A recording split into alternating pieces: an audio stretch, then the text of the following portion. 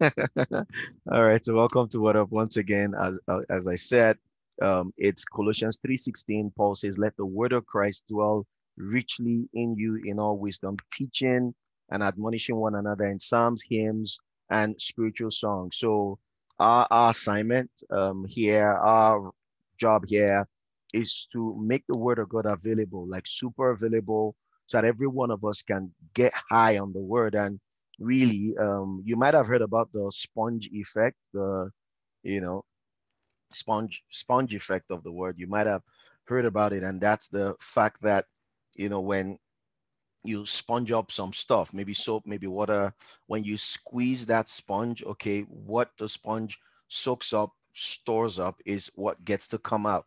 So it will do us a whole lot of good if we give primary you know attention to sponging up the word of God, sponging up the word of God, sponging up the word of God. Jesus said that in this word you will have tribulations. There will be challenges, there'll be trials. You know, there'll be things that will happen to us. Um, some, yes, we might have caused them to happen. Some others, they just get to happen. You know, but whatever the situation is, when you and I give attention to the word, when we sponge it up, all right, sponge it up. I, and I understand because I mean, we've all been guilty of that. I have, and I would assume you have, where we allow ourselves get distracted, sidetracked, and we don't give the word, you know, the attention it demands, it you know requires, and then things things happen to us, and you know, thank God for the mercy and the grace of God.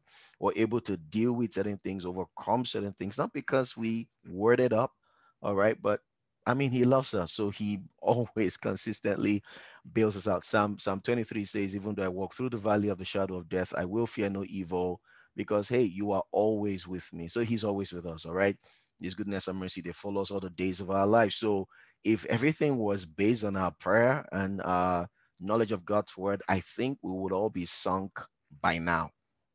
And we know that, okay? We just might need to remind ourselves of that so that we do not think it's by our works of righteousness, by our word, and all of that. However, um, so while it is important that you and I, you know, know the place of His grace and His mercy, all right, in uh, victorious living right here on the earth, um, it's it's important that you and I understand also the responsibility He gave to us to to word up, all right, to get on His word again and again, you know, to just spend ample time, you know, um, filling up on the word. Um, I'll give a couple of examples that I appreciate a whole lot. So in Jeremiah, well, Joshua first, well, Jeremiah anyway, you know, Jeremiah in chapter one of Jeremiah, God, you know, in speaking to Jeremiah, I called him and said, Before I formed you in the belly, I knew you, I called you, don't be afraid of their faces and all of that. And then God said to Jeremiah, Hey, what do you see? And Jeremiah said, Oh, I see the branch of an almond tree. And God said to him, You have seen correctly because I would watch over my word to perform it. That's a 12th verse now. So I've kind of like, you know, summarized, you know, from the beginning, like four or five, you know, skipped a few and then we got there. You know, so God said to him, What do you see? And he said, I see the branch of an almond tree. God said, You've seen correctly.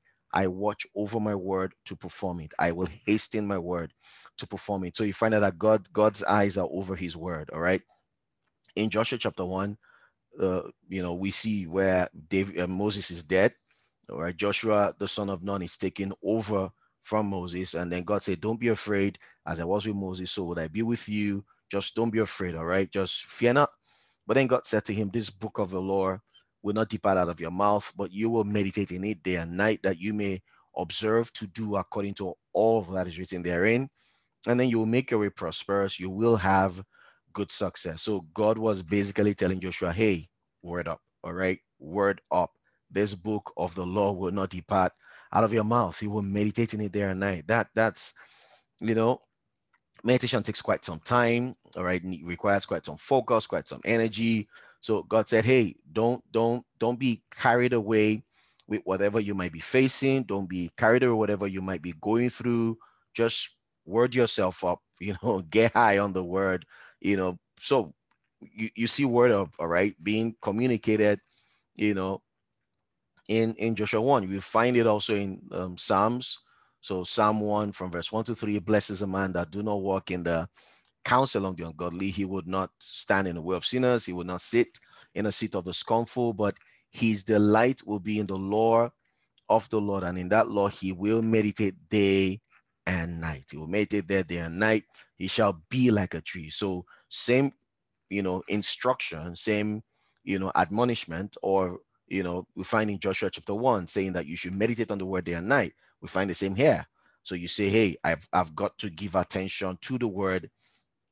So I've got to word up. I've got to get myself high you know, like like super very high on the word. So basically, you know, by way of maybe introduction, recap, reminder, and then to mention that because God expects you and I to get high on the word. He expects us to, all right. Jesus talked about the parable of the sower, and basically all he was talking about there, you know, was the fact that there are different responses to the word, and it's the heart that gives the word the utmost response that will get the best of results. All right.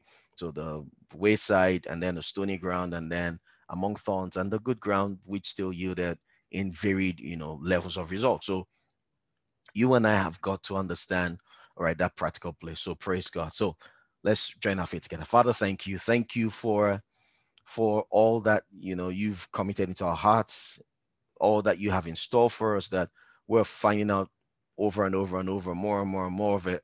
Thank you for the revelation of your spirit. Thank you because you strengthen us, you embolden us. Thank you because we're taught, we're trained, we're led by your spirit. And that victorious life that you've planned for us, we do enjoy in the name of Jesus. Amen. Amen. All right. So this particular edition of Word Up, if you remember last um, two weeks, last edition, we talked about, you know, man, spirit, soul, body.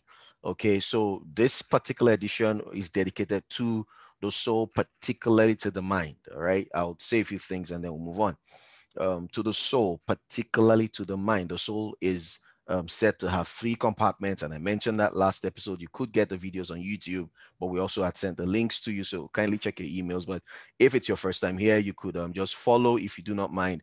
Follow me on YouTube. But subscribe. It's it's the word is a word for YouTube, right? Lanre Rex Onasanya, and then you'll find Word Up. All right, the last one, the two sessions, all right, of it it's right there. So we said the that from First Thessalonians five twenty three, man is spirit, soul, body, and that's the biblical order: spirit, soul, body. Man is spirit, soul, body. Three parts of man. Man has three parts. You remember that?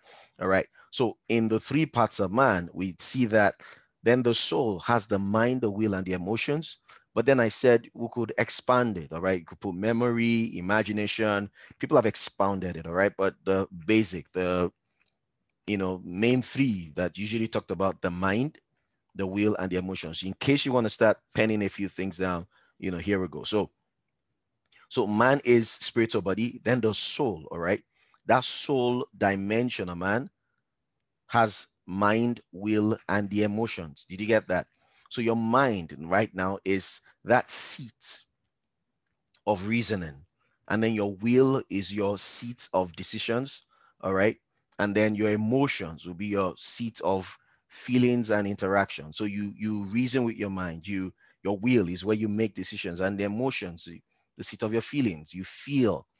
All those are part of it. And one important thing you must understand there is nothing wrong with emotions all right? You're going to learn that.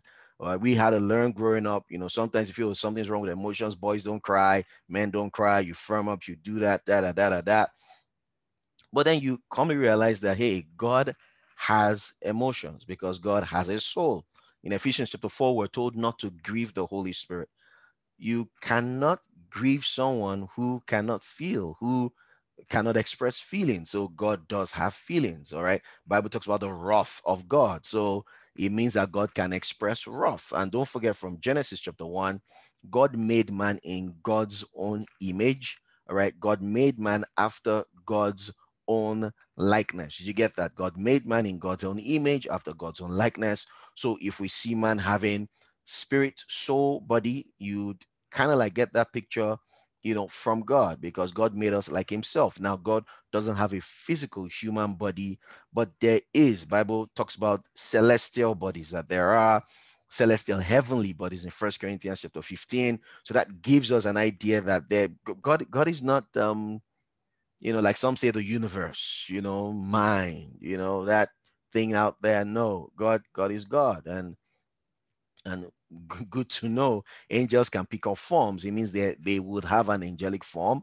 All right. So yeah, the Holy Ghost is spirit, you know, that's who he is, that's what he is. And then you and I just understand, okay, but at least primarily God is spirit, all right? And God being spirit has emotions. He he can feel. God, said in Jeremiah 29, 11, I know the thoughts I think towards you. I know the thoughts. That means God has a mind. God can reason. In Isaiah chapter 1, all right, um, Isaiah, um, you know, Jeremiah 29, 11, that was. In Isaiah you know, 55, God said, My ways are not your ways, my thoughts are not your thoughts. In Isaiah chapter 1, God said that, Come, let us reason together. Though your sin be as scarlet, they'll be as white as wool, though they be red as crimson, they will be, you know, as snow. God is saying, Let us reason, let us think, let us, you know, prove me now, bring forth strong reasons. Let's talk about the thing. So God has a mind, God can think, God can feel, He has emotions. God can be angry, God can be grieved. All right. You know, God said he repented me that I created man. I'm going to wipe everybody out with the flood. All right. We've seen God change his mind. All right. Moses talked to God and then he changed his mind about destroying Israel. And Abraham talked to God and he was going to change God's mind, you know, about Sodom and Gomorrah. So God has a mind. All right. Um, so let me pause in case someone needs a breather. And I hope this is not coming out like too fast and too like awkward for you. But these these are scriptures, all right? because somehow we just see God as that being up there is all spirit. He is all spirit. And him being all spirit has revealed to us in his word that spirit has what is called a soul. All right. The soul is, you could want to call it that interactive interface side of it. And we we say that way, you know, I think more for our own sakes to really understand these different compartments and how they function. But if mind is where you get to make decisions, then God has a mind and God thinks thoughts. He has a thought about you. He has a plan. He has an agenda. God could give you strategy. So God does think. Right. Thinking, you know, thinking is not anti-spirituality, is if your thoughts go against the thoughts of God, then it becomes wrong. If your thoughts right go against the counsel and your you know the agenda of God, then it becomes wrong. Bible says a heart of man is wicked and you know desperately evil. You know, you know. So it's it's not because God made the heart that way. Is when men now go outside the agenda of God and then they begin to plot evil, think evil, imagine evil. You know, so something just fundamentally you know just goes wrong there if if you understand what um, I'm saying. So we have to understand is that God is our Father and God created us like Himself. So when we get born again, the most important part of us is in our spirits. We've had people maybe growing up, you know, some, you know, the way to know a very spiritually minded sister.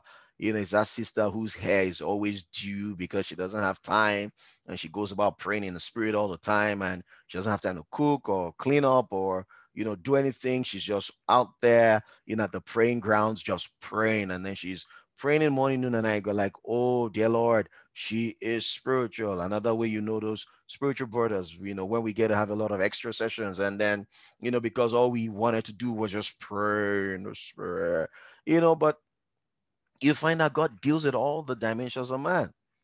Jesus, in, and I said that last edition, Jesus gave his spirit, soul, and body to save our spirit, soul, and our bodies. All right. Jesus gave his to save yours. All right. His body was broken. If if that wasn't necessary at all, it won't be needed. And I'm endeavoring not to get too, you know, like trying to connect too much into last teaching. There's so much that will be useful from the last teaching that will be useful in this teaching, but because we have it on record, it, just please, please get back to it, even if you were in the class um, or in the sessions, you know, please get back, you know, to the sessions and, and just watch them. Let them bless you.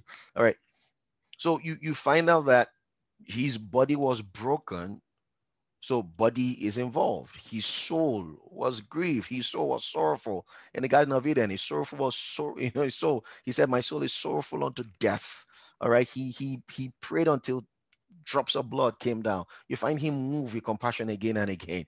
All right. Bible says love. Love, yes, is spirit, but then it finds expression through the soul. You, you, you, you know, I love you. I love you. You know, someone telling you I love you and just I love you. I, I, I love you. I love you. I love you. You, you you want it expressed, all right? Someone is happy, you want a person to sing. So joy is within, but then it finds expression. So you find that the love that Jesus has for us was expressed All right. His soul was involved in what he did.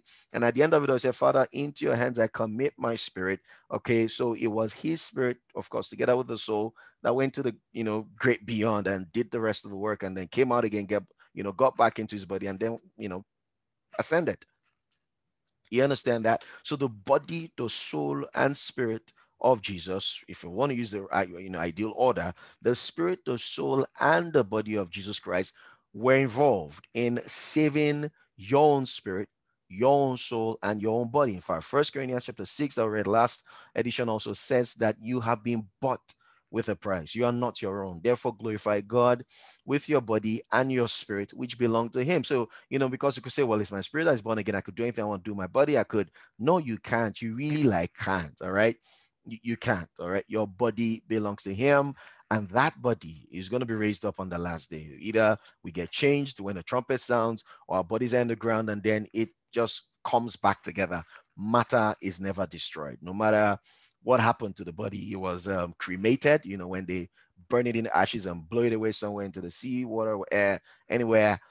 Matter is never destroyed. And we, we see a precedent of resurrection in different areas of the Bible, but one of it is in the vision Ezekiel saw, all right, in the valley of dry bones, all right, everything, bones came back together bones came back because Bible says when the trumpet is sound, when trumpet sounds, all right, the dead in Christ will rise first. Where are they rising from? From their graves. We saw a bit of that last week, how that when Jesus resurrected from the dead, some saints, all right, saints also resurrected with him. They came out of their graves and moved around in Jerusalem saying hi, all right, to different folks. So we've seen, we've seen prototypes of the resurrection. We've seen, all right, precedents, just God giving us an idea of what this thing would look like. All right. We've seen, we've seen it.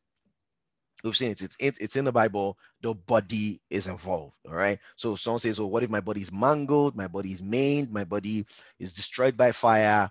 When it is resurrected, using the language in First Corinthians chapter 15, Paul said, "Mortality will be swallowed up by life." Did you get that? mortality will be swallowed up by life. So that body of yours or that body of anyone you know that was mangled, maimed, you know, cut off due to what diabetes or some accidents or something, everything will be restored, refreshed, far better than it was. So you you can't have a sickle celled body and then you resurrect with a sickle celled body. No, mortality will be swallowed up by life. The word life there is a Greek word zoe that you know. So mortality will be swallowed up. That's when you and I would even enter the fullness of Romans 8 11, where you know we would see you know the spirit of god giving life to our mortal bodies and that's why some um, bible scholars love to argue and say that that verse is not for now it's for resurrection hey it is for now because the Spirit of God lives in you now. But the fullness of it, the fullness of it, when you get that glorified body, that's when the fullness of it is unleashed and unlocked into you. I, I hope I'm not talking too fast. All right. You know, but then the fullness of it, the total, you know, um, fullness of it is when you and I just boom, just blow up. So your body is relevant. All right. Your body is. And then we know about the spirit. We talk in tongues, we fellowship with God, we do all of that. The part we seem to be careless with is the mind. And that gave birth to this one. For the next episode, I would love us to talk a lot more about the spirit, the qualities, the characteristics. And you might want to note that down. And I want to also just quickly say, um, word up so far and for now, each of the sessions require, you know, registrations for you to come in. Um, I my assignment as as an apostle and a teacher in the body of Christ right, is to complement what churches are doing.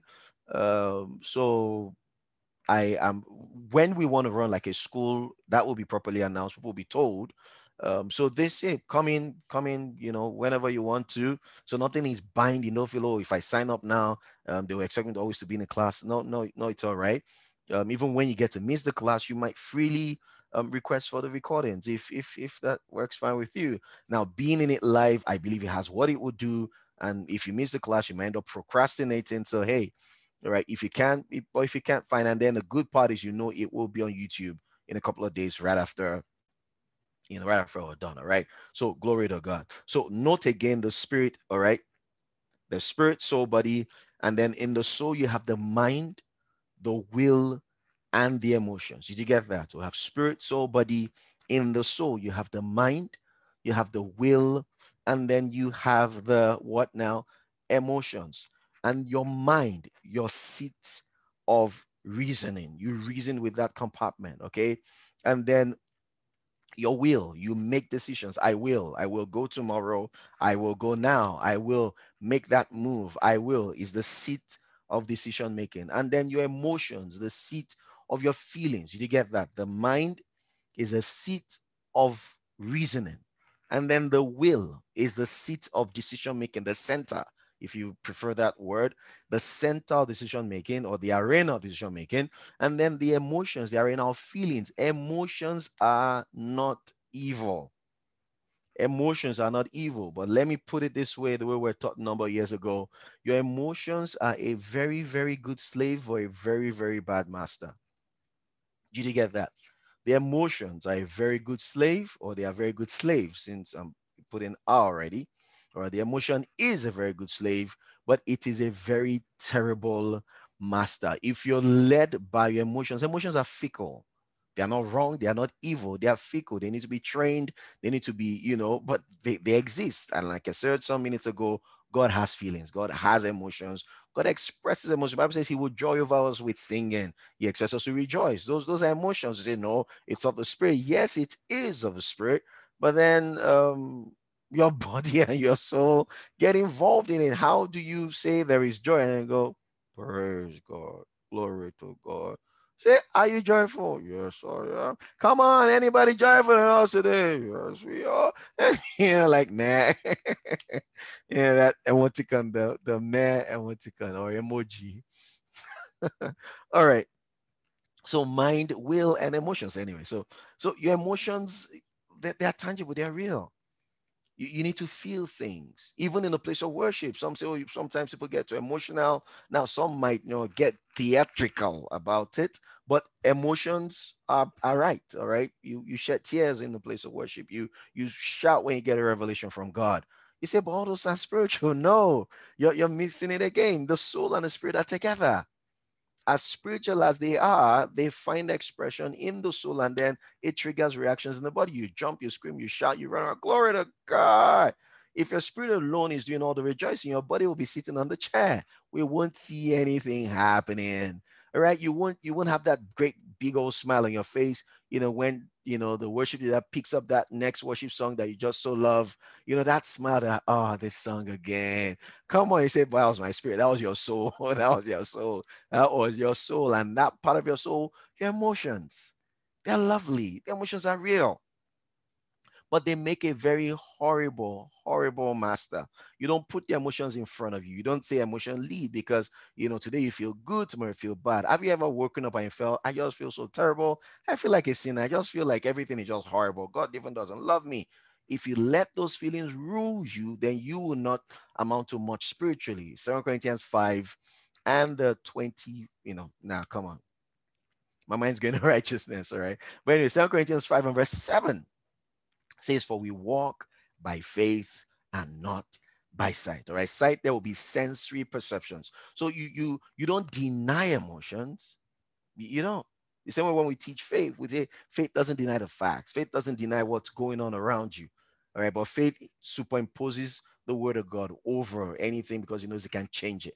Same way you don't say, well, I, I, I don't have emotions. Now you become less sentimental all right the more you yield to the things of the spirit sentimental right because you're allowing yourself to be a lot more governed all right by the word and the leadings of the spirit. But doesn't mean you do not have emotions. You don't necessarily become less emotional. So when we get to say you become less emotional it's those other parts of you that are up and down and up and down. And you know like ephesians 4 says you're not tossed to and fro all right. Children are tossed to and fro by every wind of doctrine. So you're not tossed to and fro by stuff happening in you or to you, rather, you know, but you're a lot more steady. You're you're set, you're you're firm because you are not allowing your emotions lead you, but your emotions can be led. Did you get that?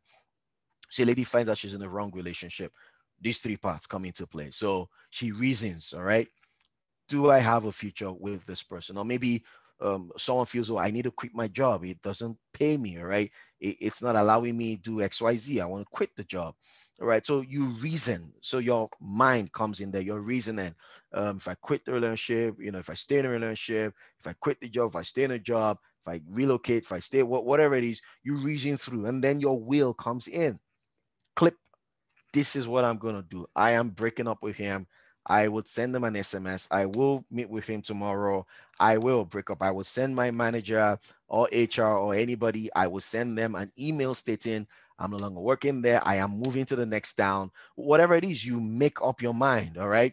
So and then you the wheel comes into place. So I say make up your mind. You're 10 percent, you know, reason and clip it. Use your will. Are you getting this breakdown? The mind and the will. You use your will.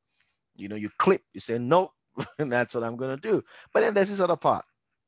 So lady eventually sends the SMS and the boy says, I want to see you. And then he comes with that puppy face, you know, and then he stirs up something within her like, oh, oh, you know, and she feels, am I really gonna break up with him? But then eh, mine goes, we we agree, we fought through it. We'll we'll say, yeah, we we concluded we're gonna do emotions goes. Can we give him a second chance? Can we, you know, can we just allow him? Can we? Can we? you know, and then you send the email to HR and HR sits you down and begins to tell you how great you've been, how there's a promotion coming up in six months. And then you go, ah, and then it's also trying to hit out your reasoning. Come on, think through it. And then HR says, I'm going to miss you. You know, was, you know, there's this new, you know, project we have, and I thought you'd be on my team. And then you go, oh, and I really like HR. You know, and then do you see that? So the mind thinks through it, and then the wheel clips it. Like we're gonna do it. I will get this thing done. I'm gonna make this happen. The will and then the emotions go. Come on, maybe not today. Hey, let's enjoy these people a little bit. Let's. I'm gonna. I'm gonna miss them. Let's. And you find out that your emotions are strong enough. And I think you would agree with me. The emotions are strong enough to override what your mind thought through and what your will, you know, clipped. Your emotions are strong enough to override. So when you allow emotions to be the master, there could be a whole lot of trouble because today you say good, tomorrow you say not good. Today you say fine, tomorrow you say not fine. Today you're high, tomorrow you're just down because how you feeling today? Man, yeah, you're gonna go out, man, man, yes, you know, just you're not you're not in the mood, and then tomorrow you're all sparky, you know, fired up, and I, I believe this is clear you know like like super so clear and and this edition is so like pretty much great. Yes i have a guest and she'll be joining tomorrow. She's preaching for uncle today. I would have loved us to do friday saturday together i mean saturday together sunday together but this works. We'll run through. We have a number of bible a, a whole lot of bible verses to read. So we're going to run through bible verses together and then i'll start off like 15 minutes into tomorrow and then she jumps right in and takes us on. She is experienced. I mean, let me just say a bit about her. I'll say it again when we're ending. Um, I mean, she grew up in in the house of preachers. Her her maternal grandma, her her paternal grandma, solid solid preachers. All right, her her maternal grandma is Dr. Billye Brim. Some of you might know that name. You might have heard of the name. That's a maternal uh, grandma. Her paternal grandma, Betty Oaks. Um, she, she's gone up to build many years ago, very, very dear friends with Gloria Copeland. And of course, Dr. Billye Brim is like Gloria Copeland's best friend till now. So she's from that kind of family, that heritage. That's, you know, so she's Betty Oaks' grand, uh, granddaughter and then Gloria Copeland, Billye Brim's granddaughter. Um, she sat in, you know, Kenneth Hagin's Rhema Bible Training Center under Kenneth Hagin himself. All right. So that's a whole lot of plus, you know. That was um that was the only perk that could have taken some of us physically to that Rhema in Tulsa, where you know. So, but I mean, it's it's great. I still easily recommend Rhema to people anyway, um, because that's that's Hagin is still the greatest influence of my life. Um, so, but I love now. Why why is she coming? So ha- haven't you know come up in that kind of home background. She gets into college, and then her mind flips. All right, she gets exposed to something happened to her when she was a kid, and let me wait if she would say that tomorrow. She might, she gets to, so not a problem with her. You know, she got high on sex as a not boyfriend, like just she just went off drugs, ended up in an asylum. I mean, someone who's a grandkid of those kinds of people ends up in an asylum. Now, there's a prayer dimension to the story. What we're dealing with is the mind dimension, the door that was opened and how it was closed, and the things the Lord had taught her all through that process. My mom had been praying. I, I mean, people you can't come from that kind of family and go nuts and, and then people are not praying for you. There's a prayer dimension. There would have been prophecies. Also, there's a prayer dimension, the revelation dimension to the story. You know, she has a book out, and then she said this other version she might still write, which is, you know, the parents, you know, version of the story, the other side of the story, what they saw, what God told them, and everything about it. How she bounced back. I mean, she's been in ministry, started a church, handed the church over, pastors, you know, her grandma's church or the uncle. How was the door opened? How did the door get closed? Because you know, many times we get shocked. We say, Oh, this this spiritual brother, what happened to him? That spiritual sister, what happened to her? The truth, which I could also tell you by experience, is you open somewhere in your mind. It's not your spirit. It's not your spirit. It's not your spirit. You know, I remember someone, you know, telling me a number of years ago how that he was, you know, he just decided I'm going to go off. All right. One of one of my mentors back then. Say I'm going to just go, I'm just going to go off. And then was smoking. Say, I'm going to, I'm going to smoke. So he got smoking. And while he was smoking, the Holy Ghost gave him a word of knowledge for someone, a word of knowledge for, he was like, can't you even give up? I'm smoking right now. I'm smoking. So the Holy Ghost gave him a word of knowledge for one person, a word of knowledge for another person. You know, you'd almost wonder, could that happen? Yes, because your spirit is in perfect, you know, condition. The issue usually is in the mind. And like we said the last edition, it's where your mind flips to. That's where victory is experienced. If your mind flips, you know, to more of the spirit, God's word, and all of that, there's victory there. If your mind flips somewhere else, you know. Now I'm gonna pause a bit. There's this video. I, I just love how um, it was illustrated. Andrew Wommack has a solid teaching on spirit, soul, and body. And then someone did you know an illustration, you know, uh, and sent it to Andrew, and Andrew loved it. And it's just beautiful. It's on YouTube, all right. So if you love the video and you, you know, you might want to watch it again on your own, which I feel you should. You could just um, is YouTube, just Andrew Wommack spirit, soul, body animation illustration you know whatever word and then it comes up so i'm, I'm gonna play it it's about 18 minutes you might want to write draw do whatever but stick your head up in this. I know when we do Zoom meetings like this, we could like be doing like 10 things at the same time. I know that, but please, as best as you can, um, give this attention. All right. I know you could tell us about watch it later, which we usually don't. So please give this attention. Please, if you can, utmost um, attention. So allow me. Um, um, okay. Thank you. Um, I just saw a comment. I'd asked if I was talking too fast. All right, thank you. Um, so I'm going to play this. If the sound isn't too clear, well, it should be perfect. So I just play it and then um, you could drop a comment if there's anything I need to know. All right, thank you. So here we go, sharing that screen. All right, so are you ready, somebody? So I'll, I'll take my video off soon. And then, um, okay, yeah.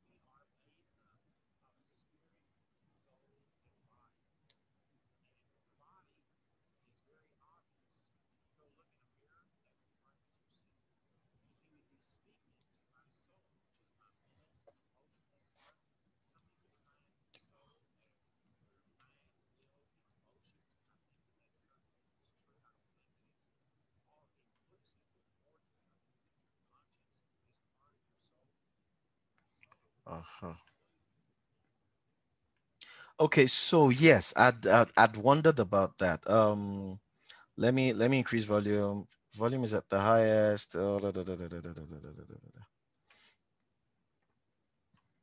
okay, so uh, uh, stop share.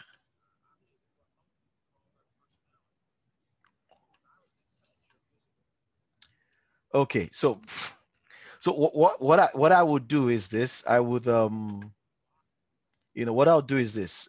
The link would nah. Okay, so unofficially we could make the link available. Uh, I don't know if I'll be breaking any copyright law. Uh, yeah, so I- will just keep teaching. So I'm noticing from what everybody's writing here that the volume isn't, yeah, audio, audio too low. Okay, yeah. Okay, so I'll, I'll do the teaching. You would, you would love it. It would help you. So what I could do is, um, you get the link. Maybe towards the end of the today's session, right? You will get the link and then it will be right there. You would watch it. It's 18 minutes. It would help you. So let's let's let's just move on from there. I'd actually done a test run and I felt it was low. I felt okay, you're hearing it. I was using my own phone to try to play and like I'm not hearing it too well. It seems low. YouTube volume is on the highest. Um, let's see. All right, let me, okay, I just increased uh, another volume here. Let's, let's check it one more time, see how that goes. All right. Um, one more, one more shot. One more shot. If it's good enough, please let me know. Thank you.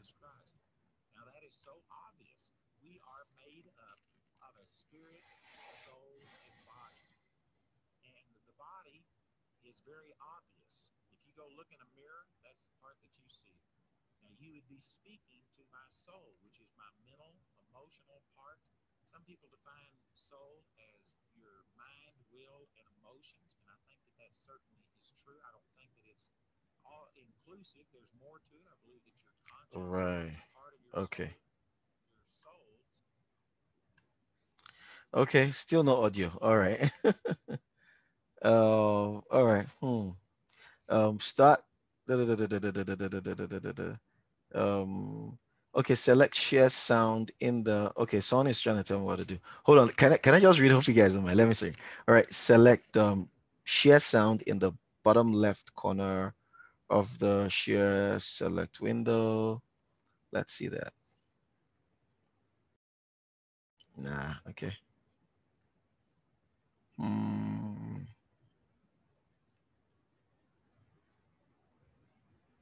Let me see that again. All right, select program desktop, which you wish to share. Select share sound in the bottom left corner of the share.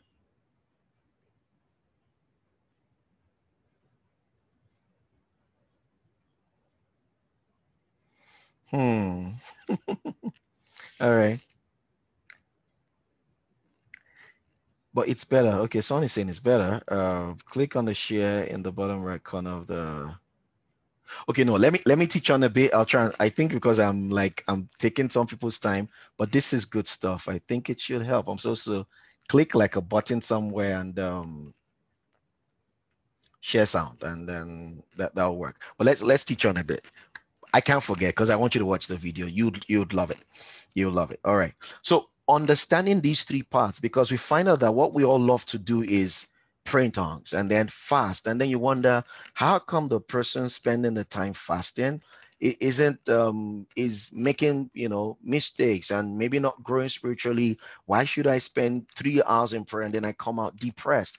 It's because there's a lot going on in my emotions that part of my soul. And so we could simply say there's a lot going on in your soul. Now totality or by summary the word we would use a lot more today is the mind but allow it to also represent that general part of your soul. Because when you take in the word into your mind, it influences your will, it influences your soul. I mean, it influences your emotions. All right. Did, did you get that?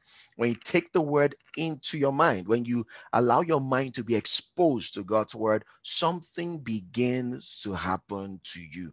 What's that? It changes you, it changes your reasoning which changes your decision making and it changes your reaction to things. Did you get that?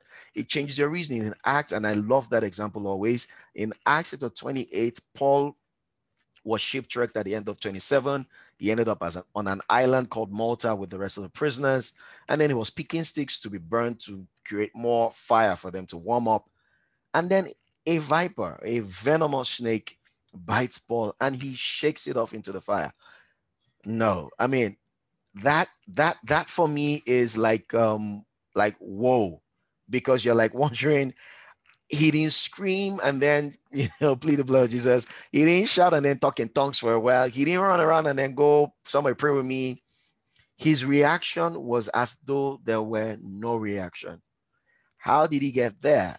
It's because he would have had to renew his mind so much. Was Paul who taught about a lot about you know the life of God, you know, of spirit life has set me free from of sin and death. Was Paul who wrote to us, you know, telling us in the word Romans 8 11, you have, you know, life. Paul told us Colossians, Christ in you, the hope of glory. So Paul has a lot to say.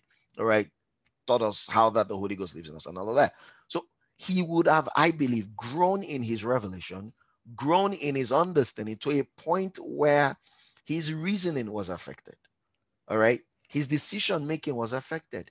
His emotional reaction, snake, it was affected. Affected by what? Because it's not snake we really are afraid of. What we're afraid of is death. So Paul had over time, I believe, defined his relationship where death was concerned. And that's the fact that I'm not afraid of death. I mean, Paul's the one who said, I'm not even afraid to go to Jerusalem. They'll kill me, them kill me. Come, I'm ready to go. But some years earlier than that, when he just began his ministry, he heard he was going to die, and then he had to be, you know, let down through a basket, through a window, in a basket, through a window. Something happened to the man. And this lets us know, guys, you can retrain, and that's the renewal of mind. You can retrain your emotions, you can retrain your will, you can retrain your mind, basically your entire soul, by that consistent imputing of the word of God into you, that consistent putting in of God's word. You just jam the word of God into you, and then boom, you're just all right. Do you understand this? All right. Just jam the word of God again and again into you. Certain things are important. We're going to read a number of Bible verses now that talk about the mind. All right. So if you're ready, you have your Bibles with you. All right. A number of Bible verses that have to do with the mind. First, I want to talk about the sameness of mind because why, why is it possible that there could be division amongst Christians? First Corinthians and then chapter three, Paul said, I couldn't speak to you as unto spiritual, but as unto carnal, even as unto babes in Christ. You wonder what does it mean? Because they're behaving like babies, but they're spiritual. And one of the points Paul raised is that there was no unity, right? There was no unity amongst them, no shared um, vision. There was division, division, division, separate vision, different directions, everybody going his or her way. So sameness of mind. And if, and I believe everybody here should be a worker in a local assembly.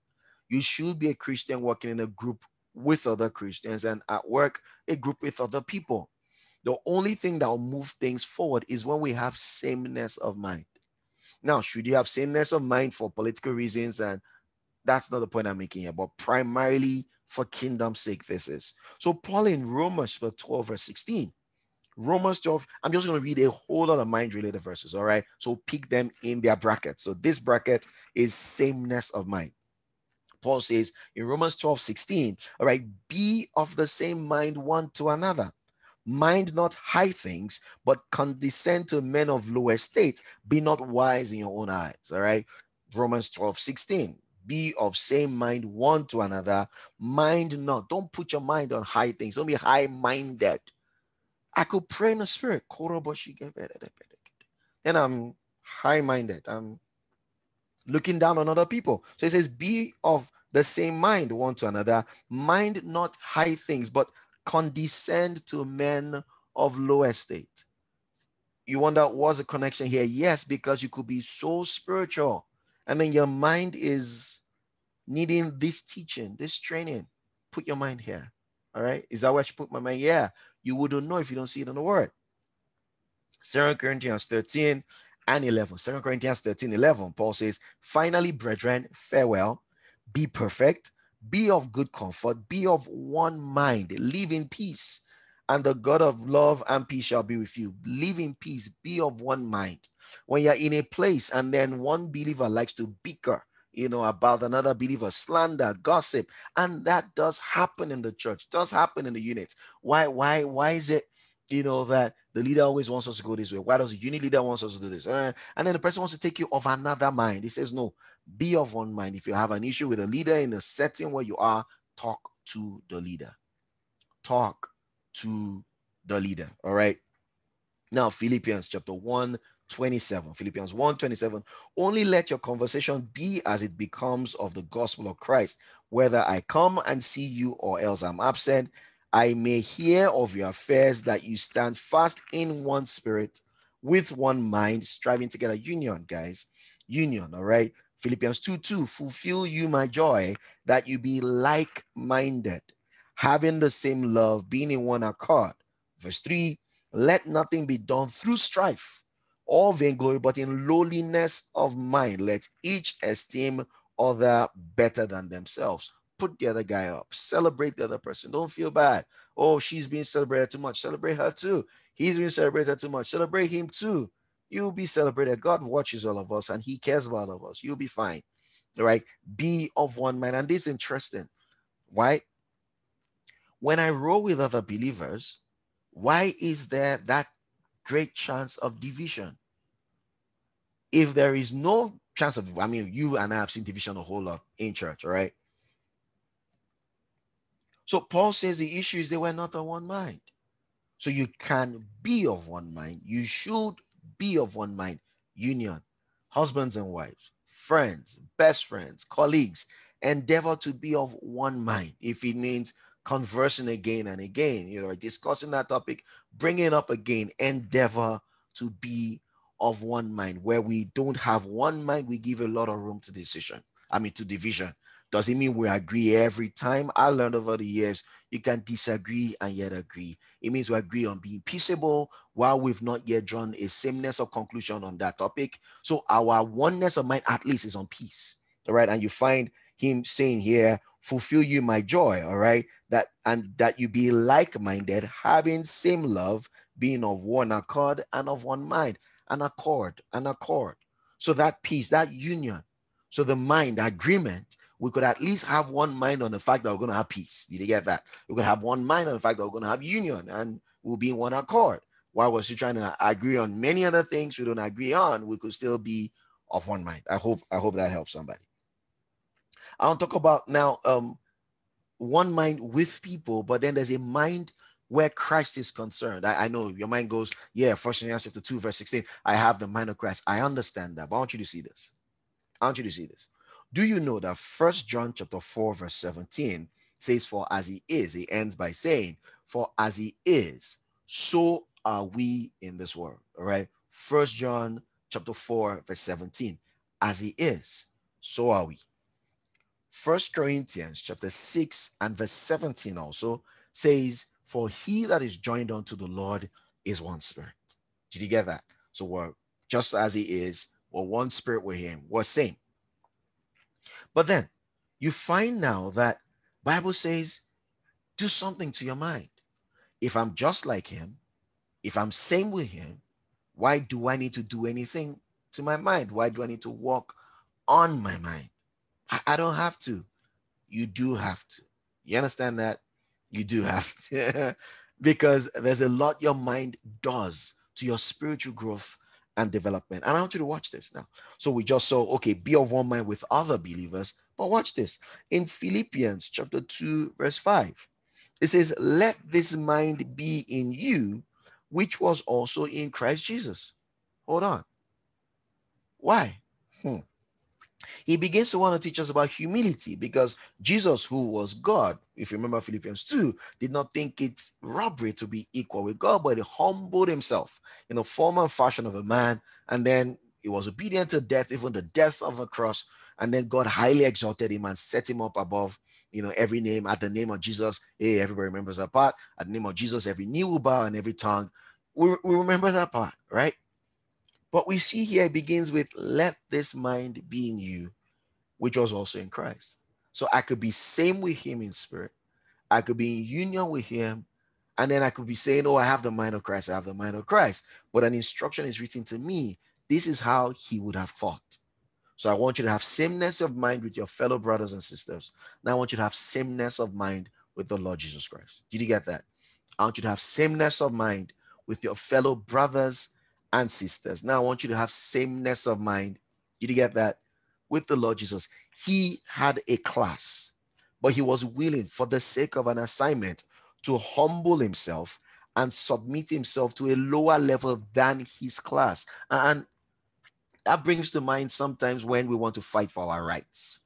You know, it is your right. it, it is you know, you feel, oh, this person's cheating me off what is rightfully mine. But check at that point what the Holy Ghost might have you do. Maybe you let it go. You might lose that but win something later. You might lose that and win that same person later. You know, we don't know how these things pan out. So it says, let this mind be in you, which was in Christ. He was equal to God. He didn't think a robbery to be equal to God, but submitted himself, subjected himself to death. Death on the cross. Death on the cross for the Jew is a curse. All right. Curse is any man that hangs on a tree. Wasn't just stoned, it was crucified. All right. We we we love that emblem right now. You see people wearing the sign of the cross and everything but it was a shameful thing. That that's what it was. That's what it represented. He became shamed. All right, he was put to shame for all of us. First Peter chapter 4, I'm going to read verses 1 to 5.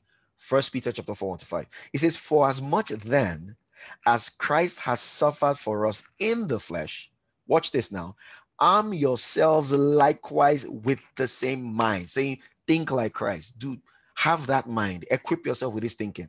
For as much then as Christ has suffered for us in the flesh, arm yourselves in the same mind. For he that had suffered in the flesh had ceased from sin, that he no longer should live the rest of his time in the flesh to the lust of men, but to the will of God. For the time past of our lives may allow us to have, you know, done the will of God, you know, the, done the will of the Gentiles when we walked in lasciviousness, excess of wine, revelings, banquetings, wild parties, and all of that, abominable idolatries, wherein, verse 4, they think it's strange that you run not with them. You don't roll with them anymore.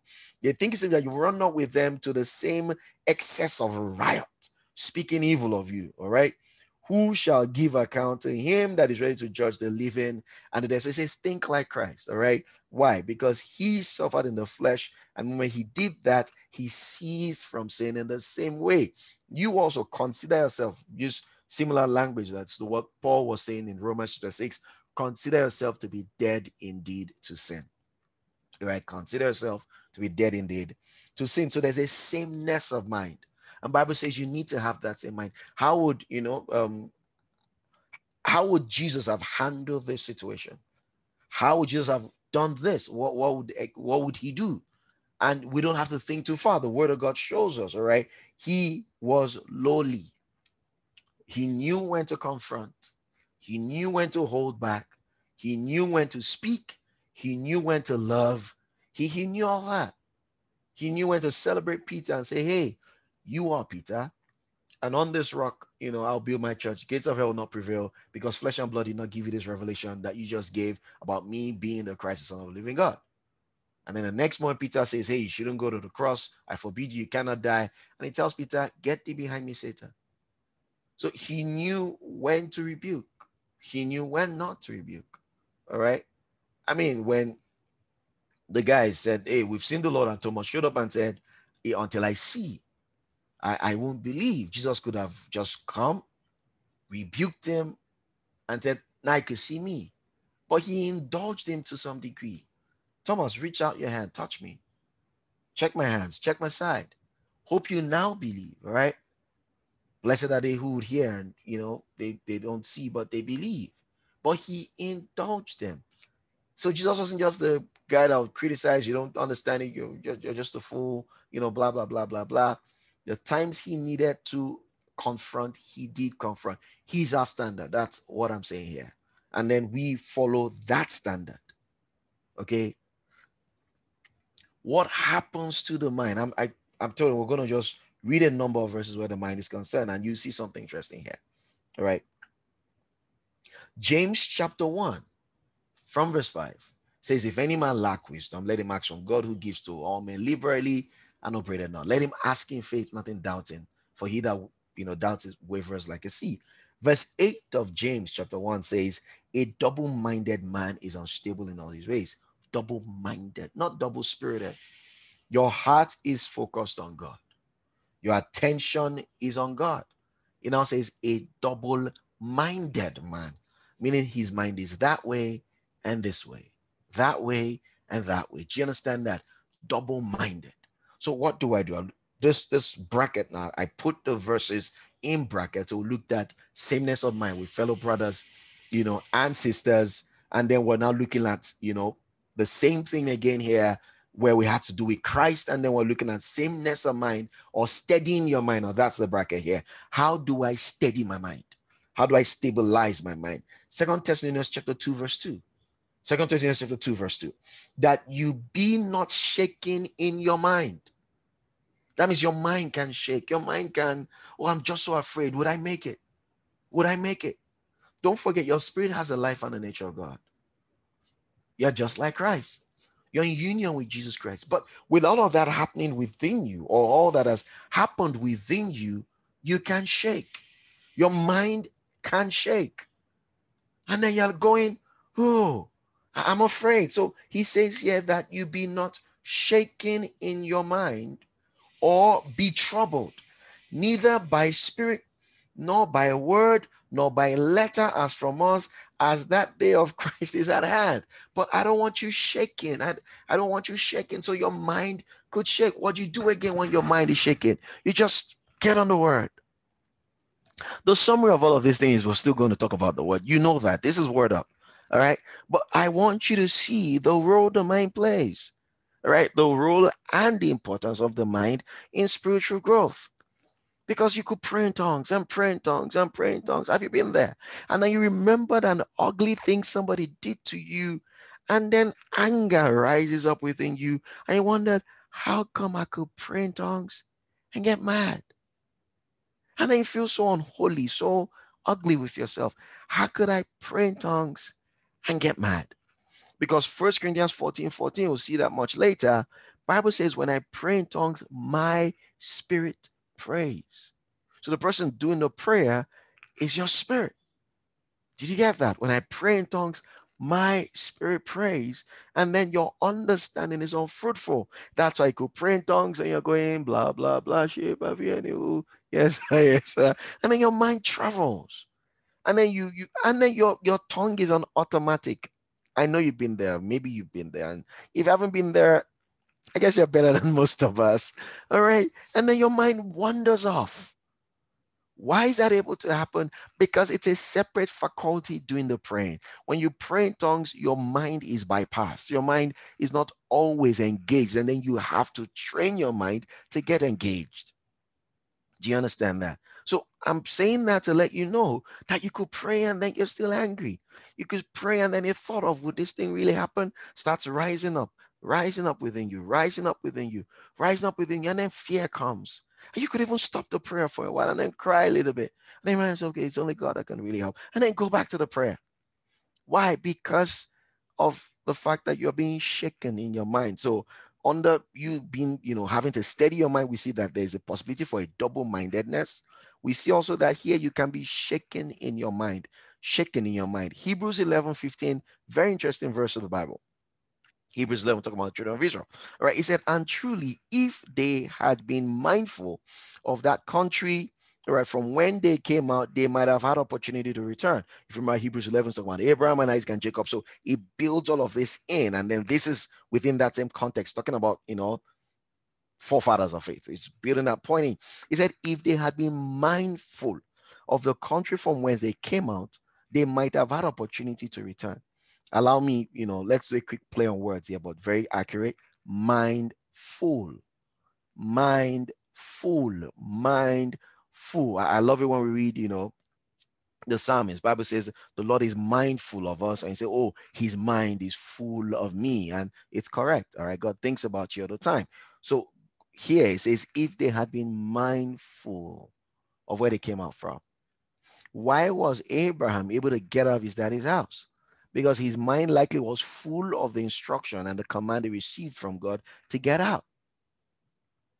Lot and his family received a similar instruction, but his wife's mind seemed to have been full. Did you get that now? His wife's mind seemed to have been full of whatever it was that she left back at Sodom maybe the jewelry, maybe the money, maybe whatever it was. You know, obviously money, money like we have today wasn't, you know, money, money then, but they had, you know, shekels and silver and all of that. Now, her mind so full of it, she looks back. She turns back. Did you get that? So if these guys had been mindful of the country from whence they came, and when your mind is full of something, it starts crafting out a way to get back to it. Classic example. You're fasting, you know it's not time to, you know, end the fast yet, but suddenly you begin to think about food, food, food, food, food. Before you know what's happening, you might never re- remember how you got in front of the deep freezer or the refrigerator, or, you know, just, you know, dipped your hand into something and began to chew. And like, my fast, your mind was likely full of it.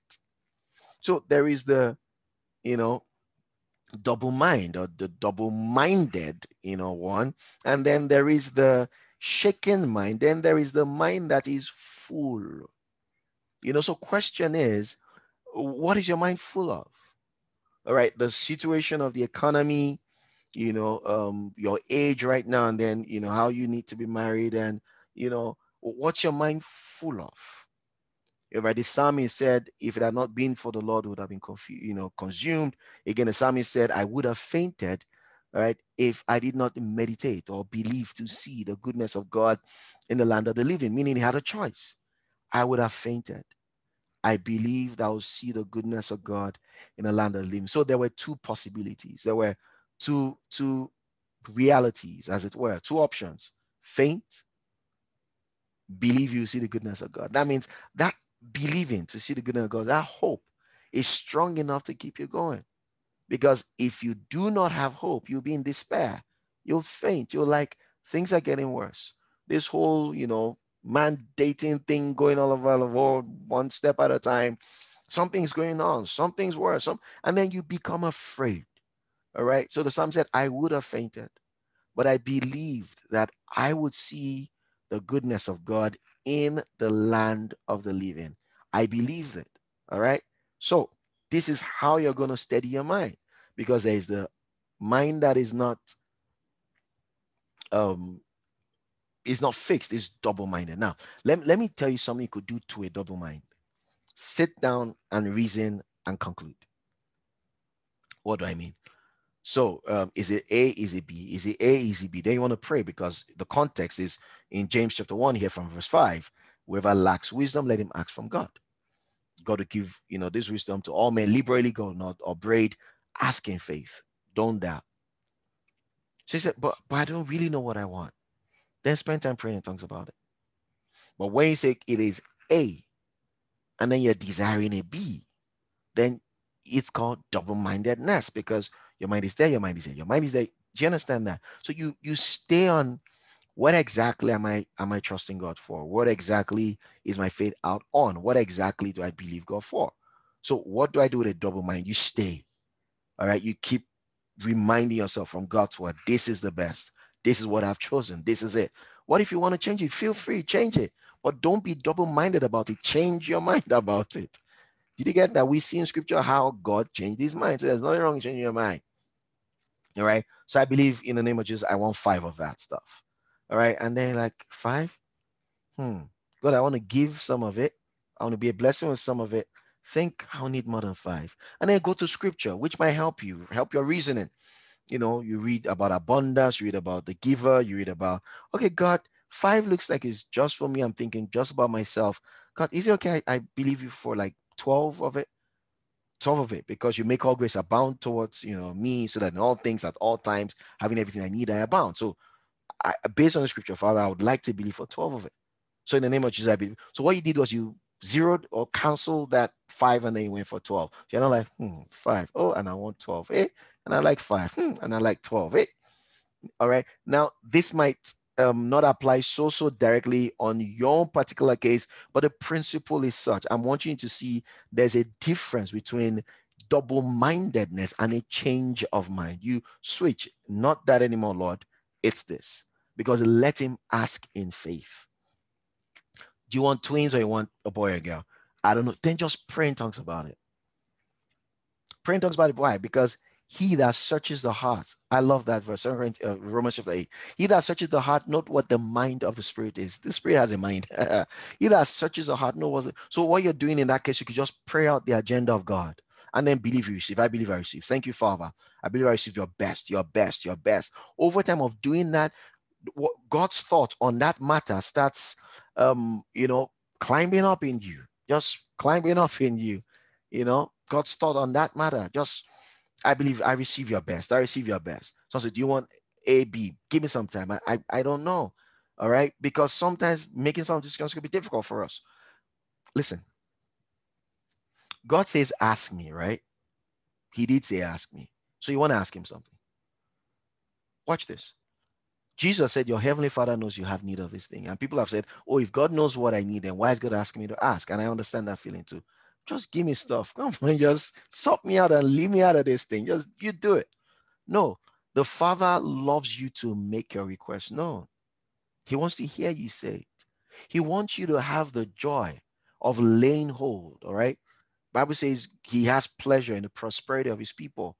Bible says in Hebrews 11, all right, that without faith you can't please him. So he wants you to use your faith. He wants you to have that joy. Jesus said, ask me that your joy may be full. He knows what you need. But I want you to place a finger on, I asked for that and it came, right? And then I asked for this and it came, yeah? And then I asked for that and it came. Glory to God, my daddy loves me. He wants you to ask. So says, ask if you if your child asks for you know fish or you know bread, you know, or egg, you won't give it you know, serpent or you know stone or scorpion. You, you, you won't do that. You know, you, you won't do that. You give a child what your child is asking for. So God wants to hear you ask. I hope that helps somebody right here. Because you wonder, why should I ask when God knows what I need? Because He wants you to have the joy of seeing your prayers answered. Ask and your joy will be full. All right, when you receive it, He wants you to see that. Now, as much as God wants you to ask, God is not saying, hmm, impress me. I see you're so confused. I'm not impressed. He impressed me. Get yourself together, girl, and come back again and tell me what you need. All right. I'm God. I don't waste my time with people like you. When you know what you want, talk to me. Forget about that, right? That's not what God is doing. Listen, He could help you make the decision. Jesus said, when the Spirit of truth is come, He will guide you. That's John 16. In John 14, said, I'll pray the Father to give you a helper. Because when you're there, like, God, I don't even know how to ask. The Holy Spirit says, That's why I'm here. Romans 8, for you know not what to pray for. 26 verse, right? For we know not what to pray for as we ought. So your mind is fuzzy. Holy Ghost will help you. It's the mind, but he'll help you. And he will supply to your mind how better to handle the thing. He knows the mind of the Father. He knows your mind. He knows there are five things on your mind right now. Oh God, I need this blue, and then I need the black, and then I need oh God, oh God, oh God, I'm just confused right now. He's there to help you, for you know not what to pray for the way you want to. Pray in tongues about it. Holy Spirit, you know how I feel about this right now. My mind is everywhere. He's the Holy Ghost. If you don't say, He knows, He knows, He knows, He knows, He knows, He knows. My mind is everywhere. But what some people do is they just leave that and end it there. My mind is everywhere. God knows my mind is everywhere. God just understands me. God knows. God knows. My own mind is always everywhere. My mind just always scattered. My mind is just messed up. That's how my mind is. That's not how He made you. And that's not how He wants you to be. All right. So He says, we'll, we'll see that soon. You gird up the loins of your mind. You firm up. He will help you do that. Don't, don't see Him as one person just folding his hands and say, when you're ready, I'll show up. No, He's your helper. Lord, right now, the way I feel right now, I'm not going to make a good decision. And I know that. And I know you're here to help me. So I'm going to speak your word and I'm going to pray in the spirit because I know not. I hope you know that verse. All right. Romans 8 26. Romans 8 26, please. For we know not what to pray for as we ought. Well, you know, juxtaposing that with James chapter 1 that says, if any man lacks wisdom, let him ask from God, but let him ask in faith. Nothing wavering, all right? Nothing, don't waver, don't waver. Ask in faith. I, I don't want to waver, but God, I don't know how to pray about this thing right now. There are 10 options in front of me, 10 jobs, 10, 10, whatever, five, three, whatever. But I know you know. All right. In Psalm 32, verse 8, NLT, he said, I will lead you along the best pathway. So I know you know what it is. So I'm going to just pray in tongues about it. So your mind, you said, but if I do that, won't my mind still be, you know, unstable? You know, mind is wavering. Your mind can now be fixed on in the midst of all this wavering stuff going on around me, I'm enjoying God's best because I prayed about it and He's leading me. So your mind is on that one. Can we start from there? Can you start from there? My mind might be busy here, but I've prayed about it, and the Holy Ghost is guiding me into the best. So your mind stays, you know, I learned from, you know, Reverend Keith Moore. Start from what you know and and talk more about what you know. Don't do, I don't know, I just don't know, I don't know, I don't know. And then you keep magnifying what you don't know. What do you know? Yet you don't know what which of the options to pick. Is this blessing somebody? He's helping somebody. You don't know which of the options to pick, but you know because I've prayed in the spirit. I know he's guiding me because I've trusted the Lord on my heart. I know he's guiding me. Do you know that one? If your answer is yes, stay on that one. Do you understand that? If you know that one, stay on it. If you know that one, stay there. Whatever you know, stay on it. Just let it help you.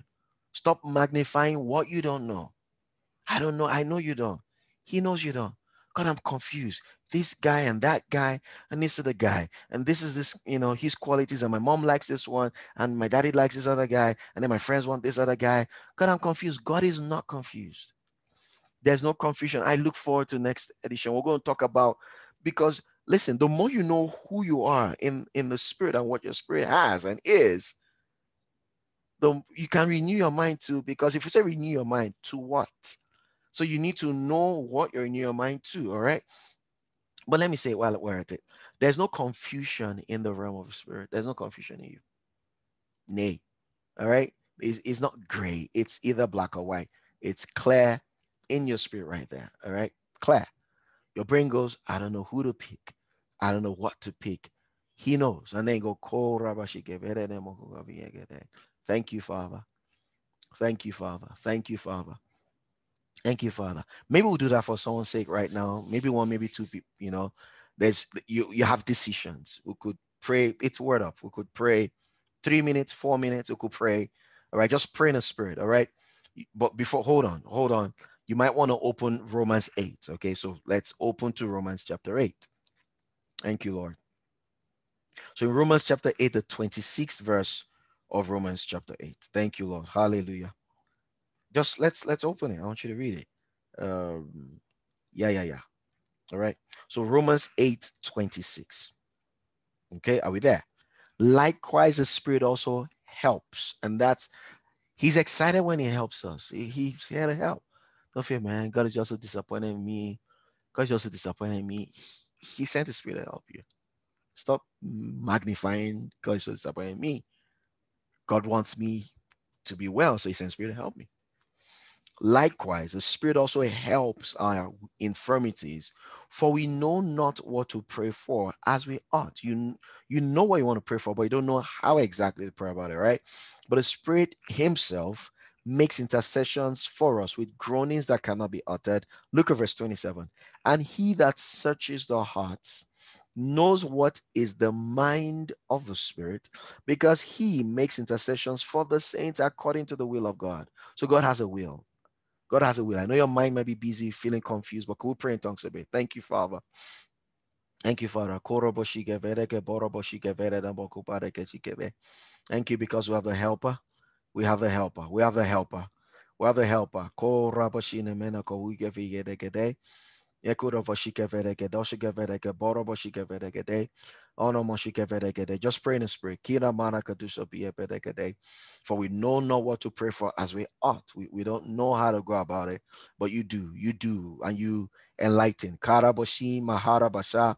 Meno kobo shike vedeke boro batura boshike vedeke mono motia. Meno kobo shike vedena mokuga via vedeke duro boshike vedeke de. Niniana baraka doso vedeke boro boshika varakada. Ma prodogo juso vie vedeke boro monuko vie vedeke de. Ma prodogo duso mieke dosu venende.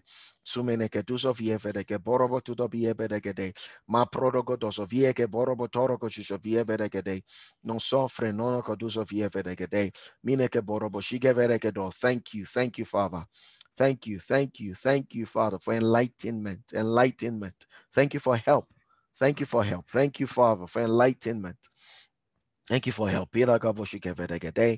Mombra, tosu sofideke borobo tu sofie, ninia tosu kofedeke doloko fashika fedeke borobo tike fedeke day, naso sofedike tesike fedeke bosha, nike abaka baraka borobo shusofie fedeke doroko tu sososo, nisa sososososososo, nisa sososososososo bige fedeke day, nike borobo tu sofie fedeke boroko tu sofie fedeke day, nike borobo shishofie fedeke borobo tikete, nike borobo shishofie fedeke borobo taika, mahoa mahanaba, Eko borobo shisha bereke borobashika borobashika borobashika berekete. Thank you. Hallelujah. Thank you. Enoko boshike berebe. Monka prota sateke mondo kuro boshike regede. Thank you, Lord. You don't know what to pray for in your mind. It's okay. Let your spirit do the talking. Let your spirit do the talking. Let your spirit do the talking. Let your spirit do the talking. Let your spirit do the talking. Thank you, Father. Thank you, Father. When your spirit is done talking and while it's also talking, it will send a memo to your mind. Hallelujah. We'll deal with that soon enough. Thank you, Lord. Thank you, Lord. Thank you, Lord. Hallelujah. Glory to God. Amen. Amen. Glory to God. Amen. Amen. We'll still maybe do this a bit before we're done. Still, still some time to this. All right. Thank you, Lord. Because I to talk about the place of prayer and revelation and all of that because it has to do with the mind. First Corinthians 14 all right. When you look at First Corinthians 14, I know you see a whole lot of praying tongues, praying tongues, praying tongues, and read a whole lot of praying tongues from it, but it's dealing a lot also with the mind. We are going to read First Corinthians 14 very soon because you can't just grow spiritually and then blow spiritually and you don't give attention to your mind. You, you don't, you know, you have to, you have to and oh nah. let's let's hurry up on this. All right. So First Peter chapter 1 and verse 13. First Peter chapter 1, verse 13. It says, Wherefore, get up the loins of your mind, gird it up. To gird, like you know, a girdle, all right, a girdle, you know, a cloth you tie around your waist. It says, Get up the loins of your mind, be sober, and hope to the end for the grace that is to be brought unto you at the revelation of Jesus Christ. Get up. That's what you do rather than, you know, when your mind is wavering, your mind is shaky, gird it up, gird it up, gird it up, gird it up. Now, while some are trying to gird up their minds, which we're all supposed to do, there's a bracket also called a corruption of the mind. I just, how many can I pick from this now? All right, First Timothy 6 and 5. First Timothy 6, 5. Perverse disputings of men of corrupt minds and destitute of the truth, supposing that gain is godliness from such. Withdraw yourself get away when people and and we make this mistake. Thank god for the teachings on prosperity that have greatly liberated the church you know the last many many years. But you have to draw the line between prosperity and materialism all right? I mean it takes money to be on zoom. It takes money to our video is better today because there's an attached you know webcam here and you know it, it, it's money. We have a guest tomorrow we're giving an honorarium and this is free all right? Word up is totally free but we you know, open to partnership and seeds and all of that. And then we'll give. I want to give a good arm, and we'll, we'll keep having guests. We'll do many, many things.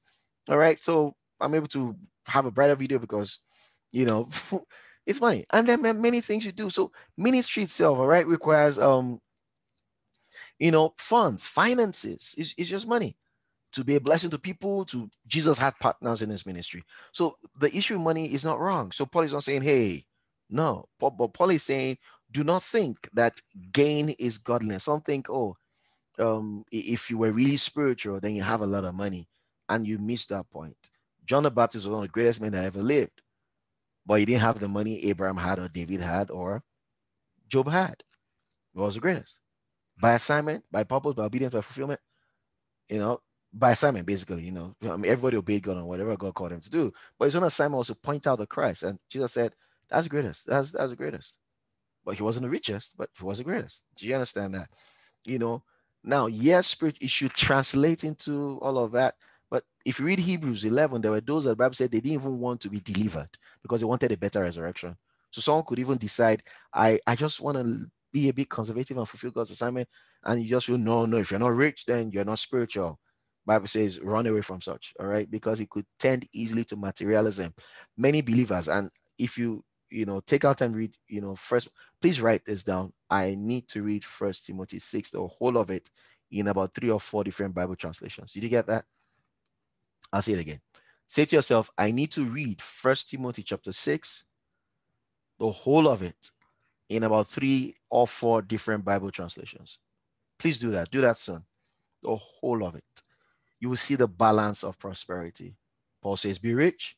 He just says, Be careful with your money. Many in pursuing money have allowed many arrows to pierce through them, and many believers have been hurt, right? In just trying to get rich and trying to live large and live, you'll hurt yourself. But money is good. You should be rich and should be able to, you know, and then the money doesn't have you. And you know what to do with the money for kingdom's sake. Because whatever I have now, all it's in first Timothy 6, all right? The life that is the life that has come. You see all that in first Timothy 6 now. Second Timothy 3 8. Now, as Jannes and Jambres withstood Moses, so do these also resist the truth. Men of corrupt minds reprobate concerning the faith.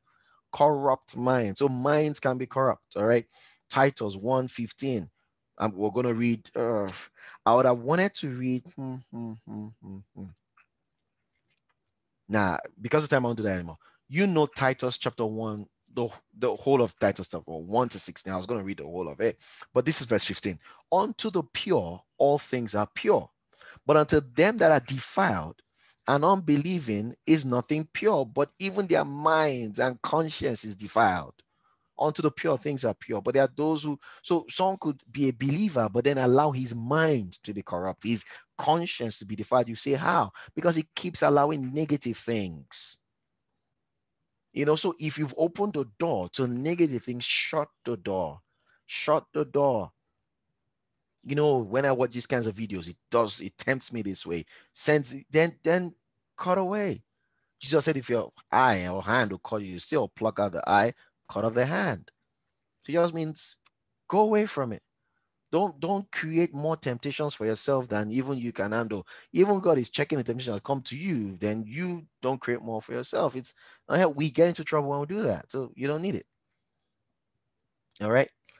See, see, I, and I know you know this one, eh, the next one after this, but it's still similar. Second Corinthians 3 and 14. But their minds were blinded.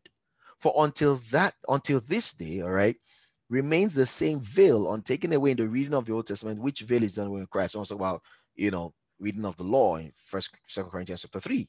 So there was a blinding of their minds. Second Corinthians 4 4. In whom the God of this world, he says, For our gospel be hid, is he to them that are lost in verse 3. Verse 4.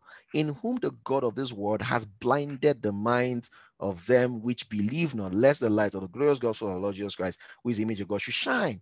So there's a blinding of the mind. He didn't say blinding of the spirit. Use the word mind. All right. That's why, and I'm a bit ahead of myself. That's why the prayer in Ephesians 1 is that the eyes of their understanding be enlightened. It's not necessarily a spirit prayer. It's not, they are born again. So the problem is not that they should be born again, is the eyes of their understanding will be enlightened. Are you getting that? It's so that their, their minds will be flooded with revelation. Glory to God. I'm just going to spend a bit of time there soon. All right, together with the first Corinthians 14 and everything. I've reserved that in like for the end part. Okay, so we'll get there soon. So I say, let's go there now. Soon, soon. I also want to get there quickly. All right, we're gonna get there. Oh, thank you, Lord Jesus. Second Corinthians 11, verse 3. But I fear lest by any means, as the serpent beguiled Eve through his subtlety, so your mind should be corrupted from the simplicity that is in Christ. Did you get that?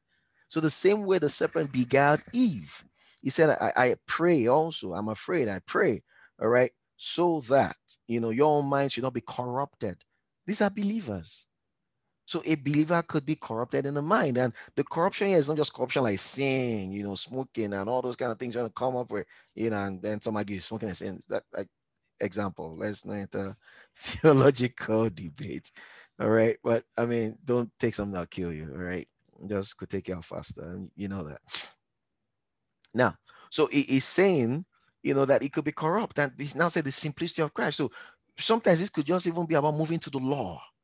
You know, now just going under the burdens of the law. It, it's a corruption of the mind. When you understand the revelation knowledge and, and where you know, faith, living by faith as against living by the law is concerned, you understand that when you move from that level of faith to now wanting to live by law, your mind is being corrupted. All right. That's why Paul, you know, wrote in Galatians chapter 3, who bewitched you? Foolish, who, who bewitched you? All right. You wonder what were they? These guys, it wasn't about, you know, they were not shacking up.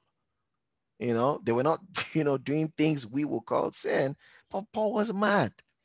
Who bewitched you? How could you jump back from the law? I mean, from grace and then jump into the law? Who bewitched you? All right. So that, that was big on, on Paul's plate. That was big on Paul's. Let's let's start tying this, you know, somehow. You know, in in Romans chapter, and I know you know, uh, maybe you've been waiting for it. I've made reference to it all through, but let's read it. All right. Romans 12, verse 2, and be not conformed to this world, but be transformed by the renewing of your mind. So conform, transform, conform, transform, conform, transform. You you see here, my mind has a lot to play. I could pray in tongues and my mind is shaking. I could ask for something, but I'm double-minded. I could not be of one mind with a fellow believer. I could not be of same mind with Christ on a particular matter, like being humble about certain things. And, and I'm not really, I'm born again. If anything happens to me now, I'm going straight to heaven. I'm going straight to heaven. But my mind, my mind has a lot to do with this thing. So he says, don't conform to this world you know when, when you watch tv and then you see the fear going on and the corruption going on and all of that happening all right then you switch that off and switch on the word of god. You give attention to the word attention to the word attention to the word all right? Ephesians 4.23 says and be renewed in the spirit of your mind. So there's there's a spirit of your mind. And what's it still saying renew your mind all right. It means in the core of your mind, in the very center, in the alertness of your mind. Be renewed in it. How? Through the word. You give attention to the word again and again, your mind will be renewed. Don't forget that. Your mind will be renewed. Now we're swinging, and this will lead us to the very, uh, okay, last scripture. Which one was that? I, I just saw the comment. Someone could help me with that anyway. Uh, it depends on which which of the verses was the last, and how many minutes ago. I just you know, um, but let's see. I know there was Ephesians 4, 23, and then there was Romans chapter 12 and verse 2. And before then, there was Second Corinthians 11 and verse 3 that says, But I fear lest by any means, as the serpent beguiled Eve through his subtlety, so your minds should be corrupted from the simplicity that is in Christ. If that is it, then it will be Second Corinthians 11 and verse 3. Second Corinthians 11, verse 3. All right. Okay, so the last, we have like a 30 minute stretch right now. Okay, still like four minutes before 30 minutes, but 30 minute stretch. I'll use the last few minutes for announcement. I want to switch into that revelation knowledge aspect of the mind. Okay, well, let's build from here. Romans chapter 8, 5 to 7. Romans 8, 5 to 7. Um, please, the last we are uh yeah, yeah, yeah. So okay, so I think I got it. Second Corinthians um 5, yeah. Second Corinthians 11. All right, there, there you have it. So Romans 8, Second Corinthians 11, verse 3. Romans 8, 5 to 7. Romans 8, 5, 7. For they that are after the flesh, watch this now, do mind the things of the flesh, but they that are after the spirit, the things of the spirit. For to be carnally minded is death, but to be spiritually minded is life and peace. Because the carnal mind is enmity against God, for it is not subject to law of God, neither it can be. There's an argument here, but listen, we need to easily, all right, and simply understand the point of this. What your mind feeds on is what affects you. For they that are after the flesh do mind the things of the flesh. If you mind the things of the flesh, watch that. They that are after the flesh do mind things of the flesh, but they that are after the spirit mind the things of the spirit. So where is your attention? What's your mind attached to? What's your mind hinged on? They that are after the flesh. It now says, verse 6, to be carnally minded is death. And we said all carnality is not sin, and all sin is not, I mean, all sin is carnality, all carnality is not sin, but to be fleshly minded is death. How? Because it opens up to things. This is not being just being a natural man. Uh, uh, I'm, I'm in the spirit, I'm not in the flesh. Hold on. Carnally minded. If you keep giving attention to carnality, it produces some level of death, whether depression, whether sickness, whether a number of these things that eventually become the offshoot of it. I mean, Paul wrote again to the Galatian church and he said, Do not be deceived. Right? God is not mocked. Whatever a man will sow is that which we reap. And that those that sow to the flesh will from the flesh reap corruption. Those that sow to the spirit will from the spirit reap everlasting life. I was talking to the church. All right. He was saying, be careful what you feed on. Be careful where you put your mind. Be careful what you give attention to. Those that sow to the flesh will of that same flesh reap corruption. Those are sow to the spirit will from the same spirit reap life everlasting. So it says something similar here. To be carnally minded is death. Those are so to the flesh with corruption. Carnally minded is death. Spiritually minded is life and peace. Those are so to the spirit with life everlasting. So if you put this together with Galatians you know six, you see the same thing going on. That the mind, I have the life of Christ in my spirit. But if I want to enjoy the life of Christ in my mind, in my body, in my environment, I've got to give more attention to spiritual things. I've got to put my mind more on spiritual things. I've got to give my mind to it. I have to allow myself to yield my, my thinking, my thought pattern to spiritual things. I, I can't just be through my mind and say, well, I'm born again. No. All right. Prayer and fasting cannot take the place of the renewal of the mind. Right. I repeat that prayer and fasting cannot take the place of the renewal of the it, it, can't, it can't take that place. No, no, it can't. It can't. So you say, oh, um, I want to be more spiritual. I just want to pray and fast. I mean, Kenny Hagin told, you know, the folk that they were together in the voice of healing movement. He said, you guys are building your ministries on, on sensationalism, on gifts. I'm building my ministry on the word. Many years after you're all gone, I'll still be standing. And that is way more than evident right now.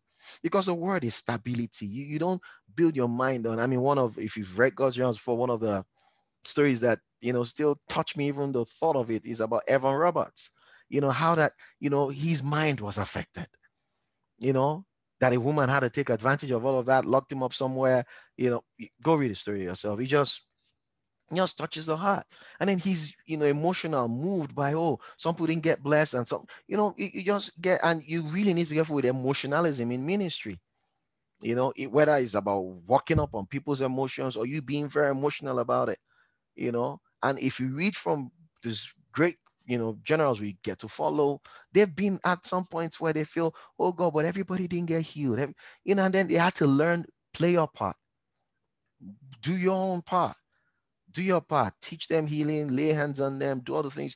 But you can't go home with that emotion of no, that emotion, compassion, you know, the compassion of the Lord is not, is it you could come at it from an emotional point of view, but it's more of a spirit. But yes, translates a lot into your emotion, could even impact upon your body.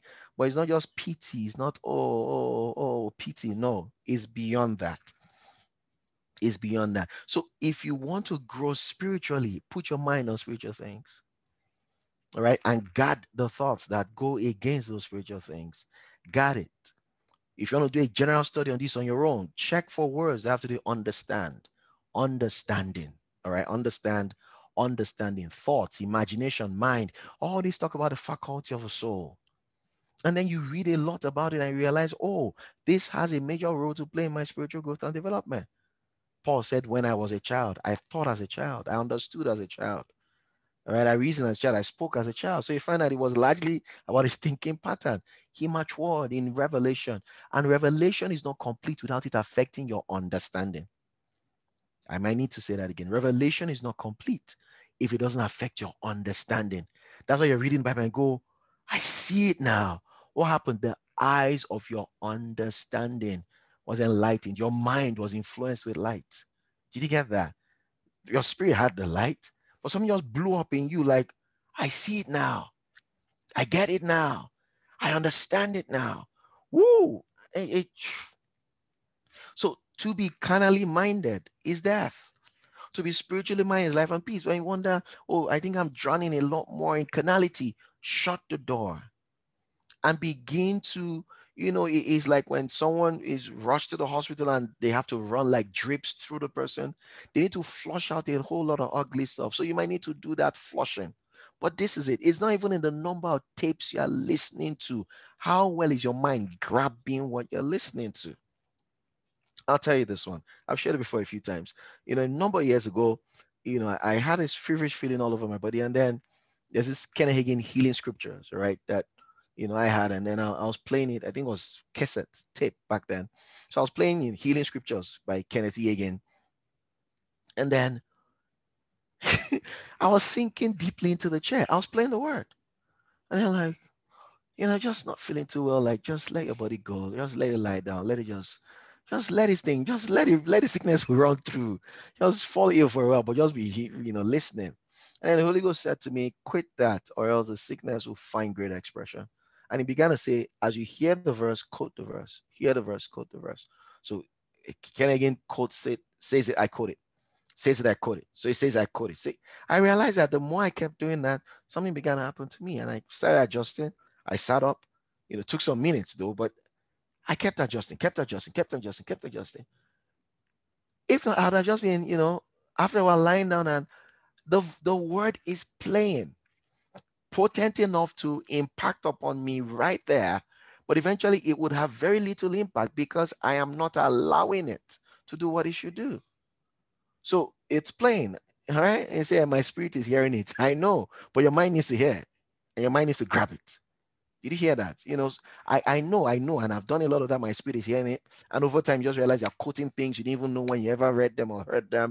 You just know why? Because your spirit stored up a lot of these things. Your spirit can pick these things even when you're not conscious. I know. But for it to be usable immediately, like now, your the eyes of your understanding needs to boom. Did you get that? Boom. That's why you're meditating on the verse meditating on a verse, meditating on a verse, and suddenly it comes alive. It comes alive. Something happened to your understanding. It shifts it. You experience what Romans refers to as that transformation. Transformation. Transformation. All right, praise God. Thank you, Lord Jesus. So set your mind on spiritual things. I beg you. Set your mind on spiritual things. Set your mind on spiritual things. If you easily get depressed, you easily get worked up, tell yourself, if I keep allowing this happen to me, I'll be a prayer giant, as it were, but I'll be an emotional, uh, an emotionally unstable prayer giant. You'll be a word quota, a choir, you know, a member, something, but you'll be emotionally unstable because you're allowing those things. Don't forget, in Isaiah said he will keep him in perfect peace, whose mind is stayed on him. You have to put your mind on him. There's storm all around you, but you say, no, I'm going to keep my mind here. All right. Academic storm, financial storm, marital storm, economic storm. You say, I'm going to put my mind here. He will keep in perfect peace. Whose mind? So your spirit is together, your spirit is in union with him, but your mind. Paul, in writing to the Philippians, all right, is told them the things to think on. It has to be good, lovely, good report. I mean, virtue, praise.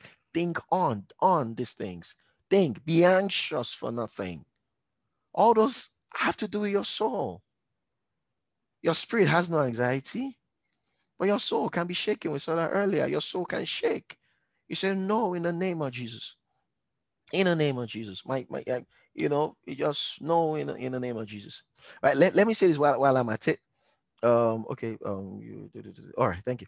Yeah, let, let me say this while I'm at it the the Andrew Mark video, I would um, do a better test run when we're done, so we could play it tomorrow once we start, you know, and then Kylie comes up. I think that's fine if, if that's okay with you, so that I just run through and then we're, we're almost done already. I'm mindful of it, but I won't want to read that comment and then come back and uh, check, check, check a few minutes. But tomorrow we start out. I do a bit of intro, you know, maybe running through and then she fires up because I really would love us to watch that video. So tomorrow once it's time, just let's all log in and then we fire. But tomorrow will be awesome. All right. I, I believe today's been helpful too. So dear Lord, thank you, Lord. Because you know, over time people say, Oh, I'm I'm spiritual, I, but I wonder why I'm, you know, I get depressed. If you keep allowing that, it's it's carnality. Listen, it's it's you yielding more to the impulses of the flesh. All right. I know it might sound uh, maybe insulting to someone or insultive or um, insensitive to someone, you know, saying, oh, your depression is, you know, carnality. I understand that. But what I'm letting you understand is this, please. No, no, of course, you know, no insult or anything intended. All right, please. Uh, but what I need you to understand is if we feast our attention on things, they will depress us. Jesus was clear about it. In this world, you will have tribulation. It will come. We will be depressed. There's enough to depress us all around. There's enough to even think, oh my goodness, the devil has conquered the whole world. This generation Z and everybody, they've gone with Satan. But it's not true. Elijah felt that way. I'm the only one, God. I'm the only one. God said, guy, I got 7,000 people who've never bowed the knees to bow you know, to bow. So you you might see, oh, this next generation, they're just gone with the devil. No, they are not. A mighty army is arising. A mighty army is arising. God didn't give his only begotten and then to lose at the end of it all. A mighty army is arising. The church is triumphant. The church of Jesus Christ is highly triumphant. Do you understand that, please? All right. So let's let's so if you keep putting your mind there, they will weaken you.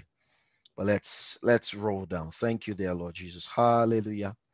Hallelujah. Glory to God. Glory to God. Glory to God. So First Corinthians chapter 2 and then First Corinthians chapter 14. Paul in Ephesians 1, which you already know, says that the God and Father of our Lord Jesus Christ, the Father of glory, may give unto you the spirit of wisdom and revelation in the knowledge of him, the eyes of our understanding being enlightened, that we may know and begin at least three major things: the hope of his calling, the riches of his glorious inheritance in the saints, and the exceeding greatness of his power. These three things I just said like this. These three things, hope of his calling, which is glorious times the saints, exceeding greatness of power to us all who believe are going to walk in Christ, then I mean, you know the way we used to speak and speed pray. You can speed pray that prayer, like you also run through all the polite prayers, and then move from Ephesians, you know, one to three to Philippians to Colossians, and then just speed pray. Calm down. the three points in Ephesians 1, I believe till today the church is yet to grasp them. You know, and I've heard Hagin talk about these things. And I say that the church is still at the infancy of these revelations. And I pray that in our own time, we'll be able to walk in it a lot more. And and, and we should just you to ward off, you know, things that might want to pull us here and there. But you know, the exceeding greatness of his power to us what I believe, according to the workings of his mighty power. I mean, resurrection powers are working you and I, guys. That that's what that last point is saying. But not not not today, not today, not at all today. No, but it's deep. But he began with the eyes of your understanding being enlightened. So go to First Corinthians chapter 2, and then go to First Corinthians 14. Like I said, when we talk about praying in tongues, what we're dealing with is really understanding. All right, First Corinthians chapter 2, verse um, we'll just speak it quickly from verse 9. All right. I has not seen, nor hear heard, neither have entered into the heart of man the thing that God has prepared for them that love him. Verse 10 But God hath revealed these things to us. How? By his spirit. For the spirit searches all things, even the deep things of God. The spirit knows the depths of God. The spirit knows everything in the mind of God. The spirit knows everything, everything, everything, everything about God. You know that. I know you know mentally, but from the verse, all right? Verse 11 For what man knows the things of a man except the spirit of man that is in him. Even so, the things of God knows nobody but the spirit of God. So if God thinks a thought now, who knows it? Spirit of God. Now, spirit of God. Now, spirit of God. Now, now, now. You know, now three seconds ago is not now again. Whatever the now is, the Spirit of God knows every single thing on the mind of God. Did you get that? The Spirit of God knows everything on God's mind. He does. He knows everything. All right. So no man knows things of a man except the spirit of man that is in him. Even so, the things of God knows somebody but the spirit of God. Verse 12, I love verse 12, I love verse 12. Now we have received, not will, not might. Now we have received not the spirit of the world, but the spirit which is from God, so that we may know the things freely. I love this one. This goes to confirm that God gives you his spirit to help you. Stop trying to impress God. I have faith. I want to show God I have faith. I want to show God. No, no, no. He gave you help. you know, the other extreme is someone says, Well, God knows I don't have faith, and God understands that way. If he can't meet my need, he just knows I'm okay. No, that's another extreme. You don't impress him and you don't take advantage of knowing that he wants to help you. I mean, you don't abuse it, rather. You take advantage of it, you know, with every biblical honor. I have a helper. I have a helper. So he help, and part of how you help you give you instruction, you give you, you know, all of that, you know. So I have received not the spirit of this world, but I have received the spirit that is from God, that I may know things. Hi, the Holy Ghost is in charge of that revelation department. How? Don't forget. Verse 10, first of all, God reveals things to us by his spirit. For the spirit searches all things, even the deep thing. God reveals by his spirit. So the spirit is in that revelation, is handling that reveal, reveal. God reveals things to me by spirit, reveals things to you, you, you, you, you, you. Yes, God reveals things to you by his own spirit. All right. Because verse 11, nobody knows anything in the mind of God except spirit of God. So how does God make the things in his mind known to us? Through his spirit. So you see verse 12. Now we have received not the spirit of the world, but the spirit that is from God, that we may know. Say with me, I have the Holy Ghost so that I may know things. I have the Holy Ghost so that I may know things. I have the Holy Ghost so that I may know things. I have the Holy Ghost so that I may know things. The Father wants me to know things. So he gave me his spirit. Did you get that? The Father wants me to know things. So he gave me his spirit. The Father doesn't want me ignorant. The Father doesn't want me in the dark. The Father wants me to know things. So he gave me spirit. This is very clear and, you know, just together with John 16, 13. Jesus in John 16, 13 says, when John 16, 13 says, when the spirit of truth is come, he will guide you into all truth. He will not speak of himself. Whatever he hears, he will speak and he will show you things to come. It's the same spirit, it's the same spirit. All right. Now we have received not the spirit of the world, but a spirit that is from God that we may know. I have a spirit so that I may know. I have a spirit so that I may know. I'm not born to be in the dark. I'm not meant to be in the dark. I'm a child of light. I have a spirit so that I may know. I have a spirit so that I may know. Hallelujah. Glory to God. Glory to God. Hallelujah. 13 says, you know, which things also we speak not in words which man's wisdom teaches, but in words which the Holy Spirit teaches, comparing spiritual things with spiritual. 14.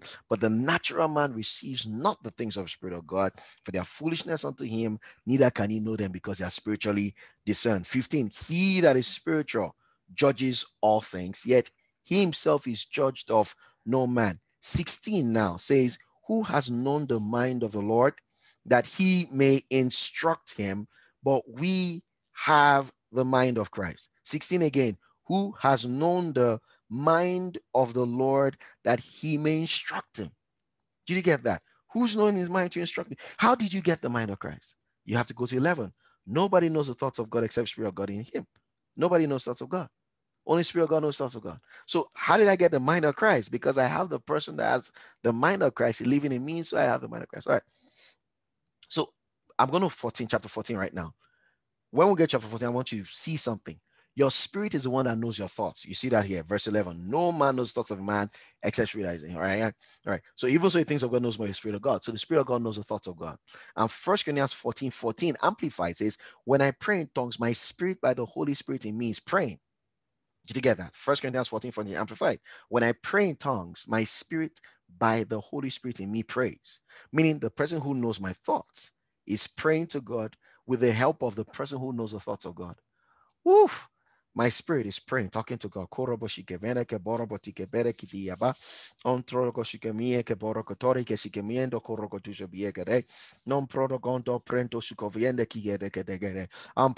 then your mind goes, I don't understand. Stop that language. Say something I know. Say, mind, we will send you the memo when we're done. Because we need you in this process. Why? When there's now an interpretation, or a revelation, none of these become usable until the mind can access it, you know, interpret effectively and take action. So pray in tongues. Thank you, Father. Thank you. Oh, I made a way for you. So it comes in a language you understand because your mind is needed. Did you get that? Your mind, how do you how do you prophesy? And prophecy is for edification, exhortation, and for comfort. First Corinthians 14, right? How, how do you prophesy? All right. So prophecy, don't forget edification. Nobody can be edified if they don't understand what you said. So First Corinthians 14 is all about, allow me to say it that way. It's all about understanding. You find Paul saying, I would rather speak five words, all right, in my known language than you know I blast around a thousand words in tongues so that the hearer can why he's saying they need to get the point I'm making. Let, let, let me pick it from. Okay. Thank you, Lord. Mm-hmm. 14, for if I pray in an unknown tongue, my spirit prays, my understanding is unfruitful. What is it then? Watch this. I'll pray, and we use this for ourselves. We just brag. What is it? I'll pray in the spirit. I'll pray with the understanding also. I'll sing with the spirit. And then you pray, pray. Yes, pray in the spirit and sing in the spirit. Yeah, but it's not about you. This is not your personal devotion. Paul wasn't, First Corinthians 14 has very little to do with personal devotion. Stay with me, please. Let's just run through from verse 1. Follow after love and desire spiritual gifts, but rather that you may prophesy. First Corinthians 14 has very little to do with personal devotion. I know we've brought a lot of verses out of it to talk about talking in tongues. It has very little to do with personal prayer. All right. Larry, speed up. Thank you. Good.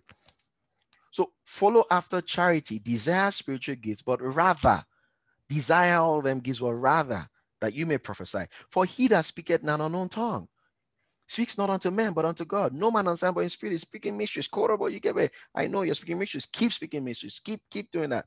But so verse 3 counters, as it were, verse 2. Because verse 3 is continuing verse 1. I want you to prophesy. So I, he said, when you talk in tongues, you're speaking between yourself and to God. But he that prophesies speaks to men unto edification, exhortation, and comfort. So, with all your spirituality and big revelations and everything happening to you, I need to be able to be a blessing to people. That's what this chapter is basically about. Be a blessing to people, speak in usable, understandable language so that they can go and act it out. That's what the chapter is about. Don't forget, verse 3 begins with but. He who prophesies, it compares. You're talking to yourself, you're good, but he who prophesies speaks to men unto edification, exhortation, and comfort. Verse 4 He that speaks in an unknown tongue edifies himself, but again, he that speaks, he that prophesies, edifies the church. So he's making a comparison when you talk in tongues. Kudos, great job, keep it up. But the guy who prophesies again, the lady who prophesies, is all right. And the tongue he's speaking here really is not even tongues for private devotion, is tongues in a public space. That's what he's dealing with here in context. Right? He that speaks in an unknown tongue, uh, verse 4, he that speaks in an unknown tongue edifies himself, but he that prophesies edifies the church. I would rather that you all speak with tongues, not tongues, general everyday tongues. It's going somewhere. I would rather that you all speak with tongues, but rather that you prophesy.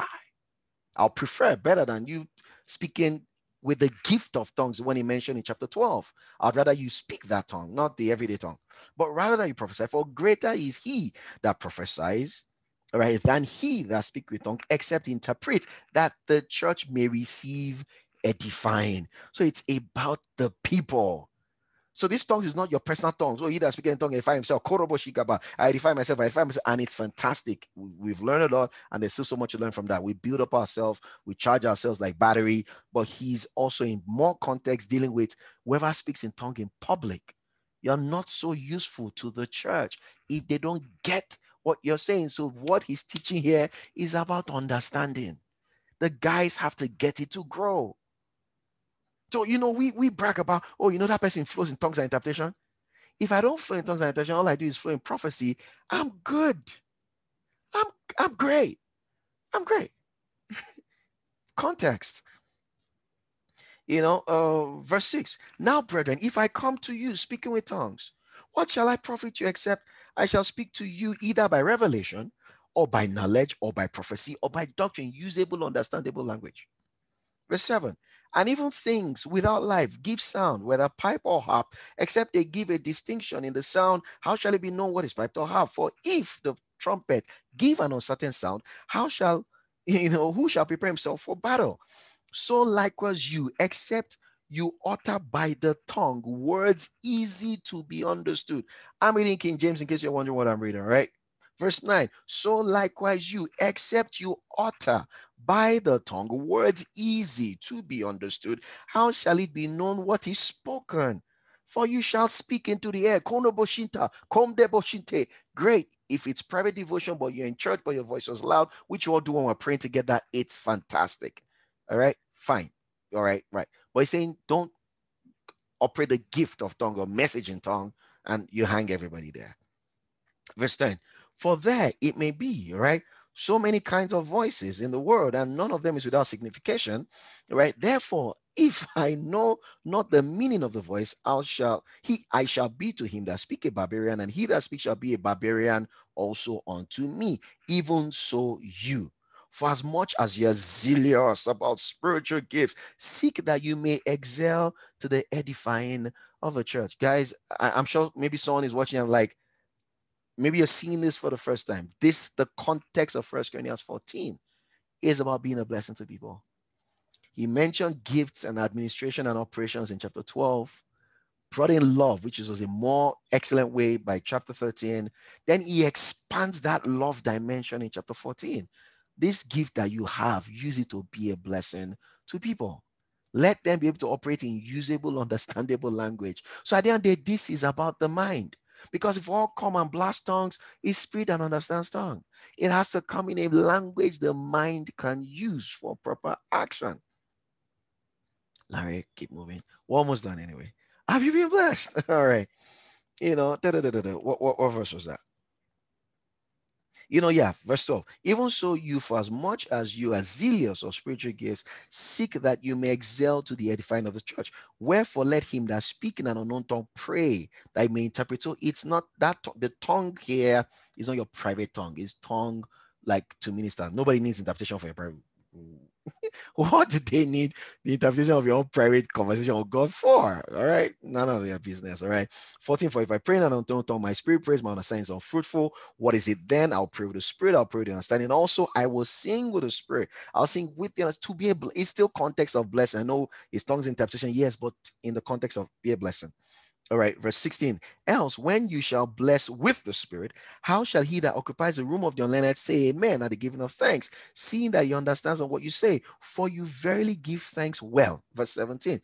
You did a great job. He does, you know, give thanks in spirit, and we use that verse. He said, But he give thanks well, but the other person is not edified. I thank my God, I speak in tongues more than you all, yet in the church I'd rather speak five words with my understanding that by my voice I may teach others also than 10,000 words in an unknown tongue. Brethren, be not children in your understanding. It means I want you to get this point.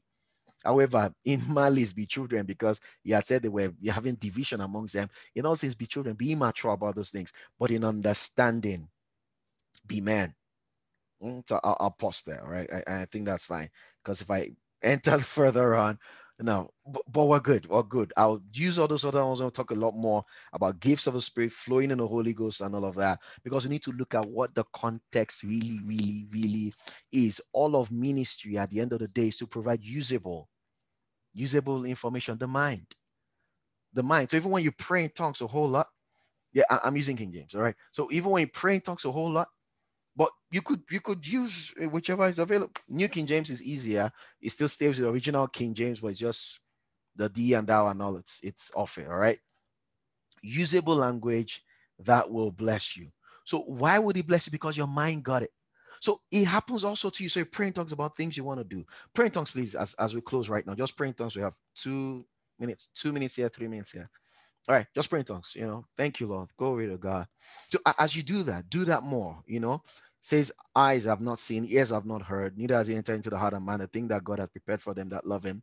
You know, but God reveals. So when I quote about Shike, I engage the revealer. Komda Kanske Boro Godusho, Min Prado Godoso, P. So what happens to me? I enjoy the reverse of that 7 Corinthians, 1 Corinthians 2 9. It says, excuse me, eyes have not seen, ears have not heard, it hasn't entered into heart of man. So what begins to happen to me is my eyes begin to see, my ears begin to hear, my heart begins to conceive the things that God has in store for me. You understand? So I, I talk in the boshike fere nenkwero koduso bieke don prodo kodoso ninkia godoso frenondo crodoso ke I'm prodo kodoso maybe by temperament I'm phlegmatic I just lose opportunities I'm too choleric and run around and do or I'm too whatever melancholy depressed you know all the extremes of all the they have good sides but all the extremes of their bad sides. When I pray in tongues they help they help. I enjoy help. Thank you father. I enjoy help. I enjoy help. I enjoy help. I enjoy edification. I'm built up I'm built up. He gives me instructions. He gives me guidance. He, he gives me strength. I'm built up. Glory to Jesus Christ. Thank you, Lord. Glory to Jesus. Pia Prodoco Dososo Fiende Crodondo Kusuto Bie Kadoso Frendo. This this is just you know you edifying yourself. Thank you, Father. Thank you, Father. We may not know what to pray for as we ought, but we thank you because we're not helpless. We have your spirit to teach and to guide us, to teach, to lead, and to guide us. Keriakada. We're moved, we're guided into victory, victory into victory, victory upon victory, victory upon victory, victory upon victory, victory upon victory, victory upon victory. We refuse to have our minds to waver. We refuse to have our minds shaken.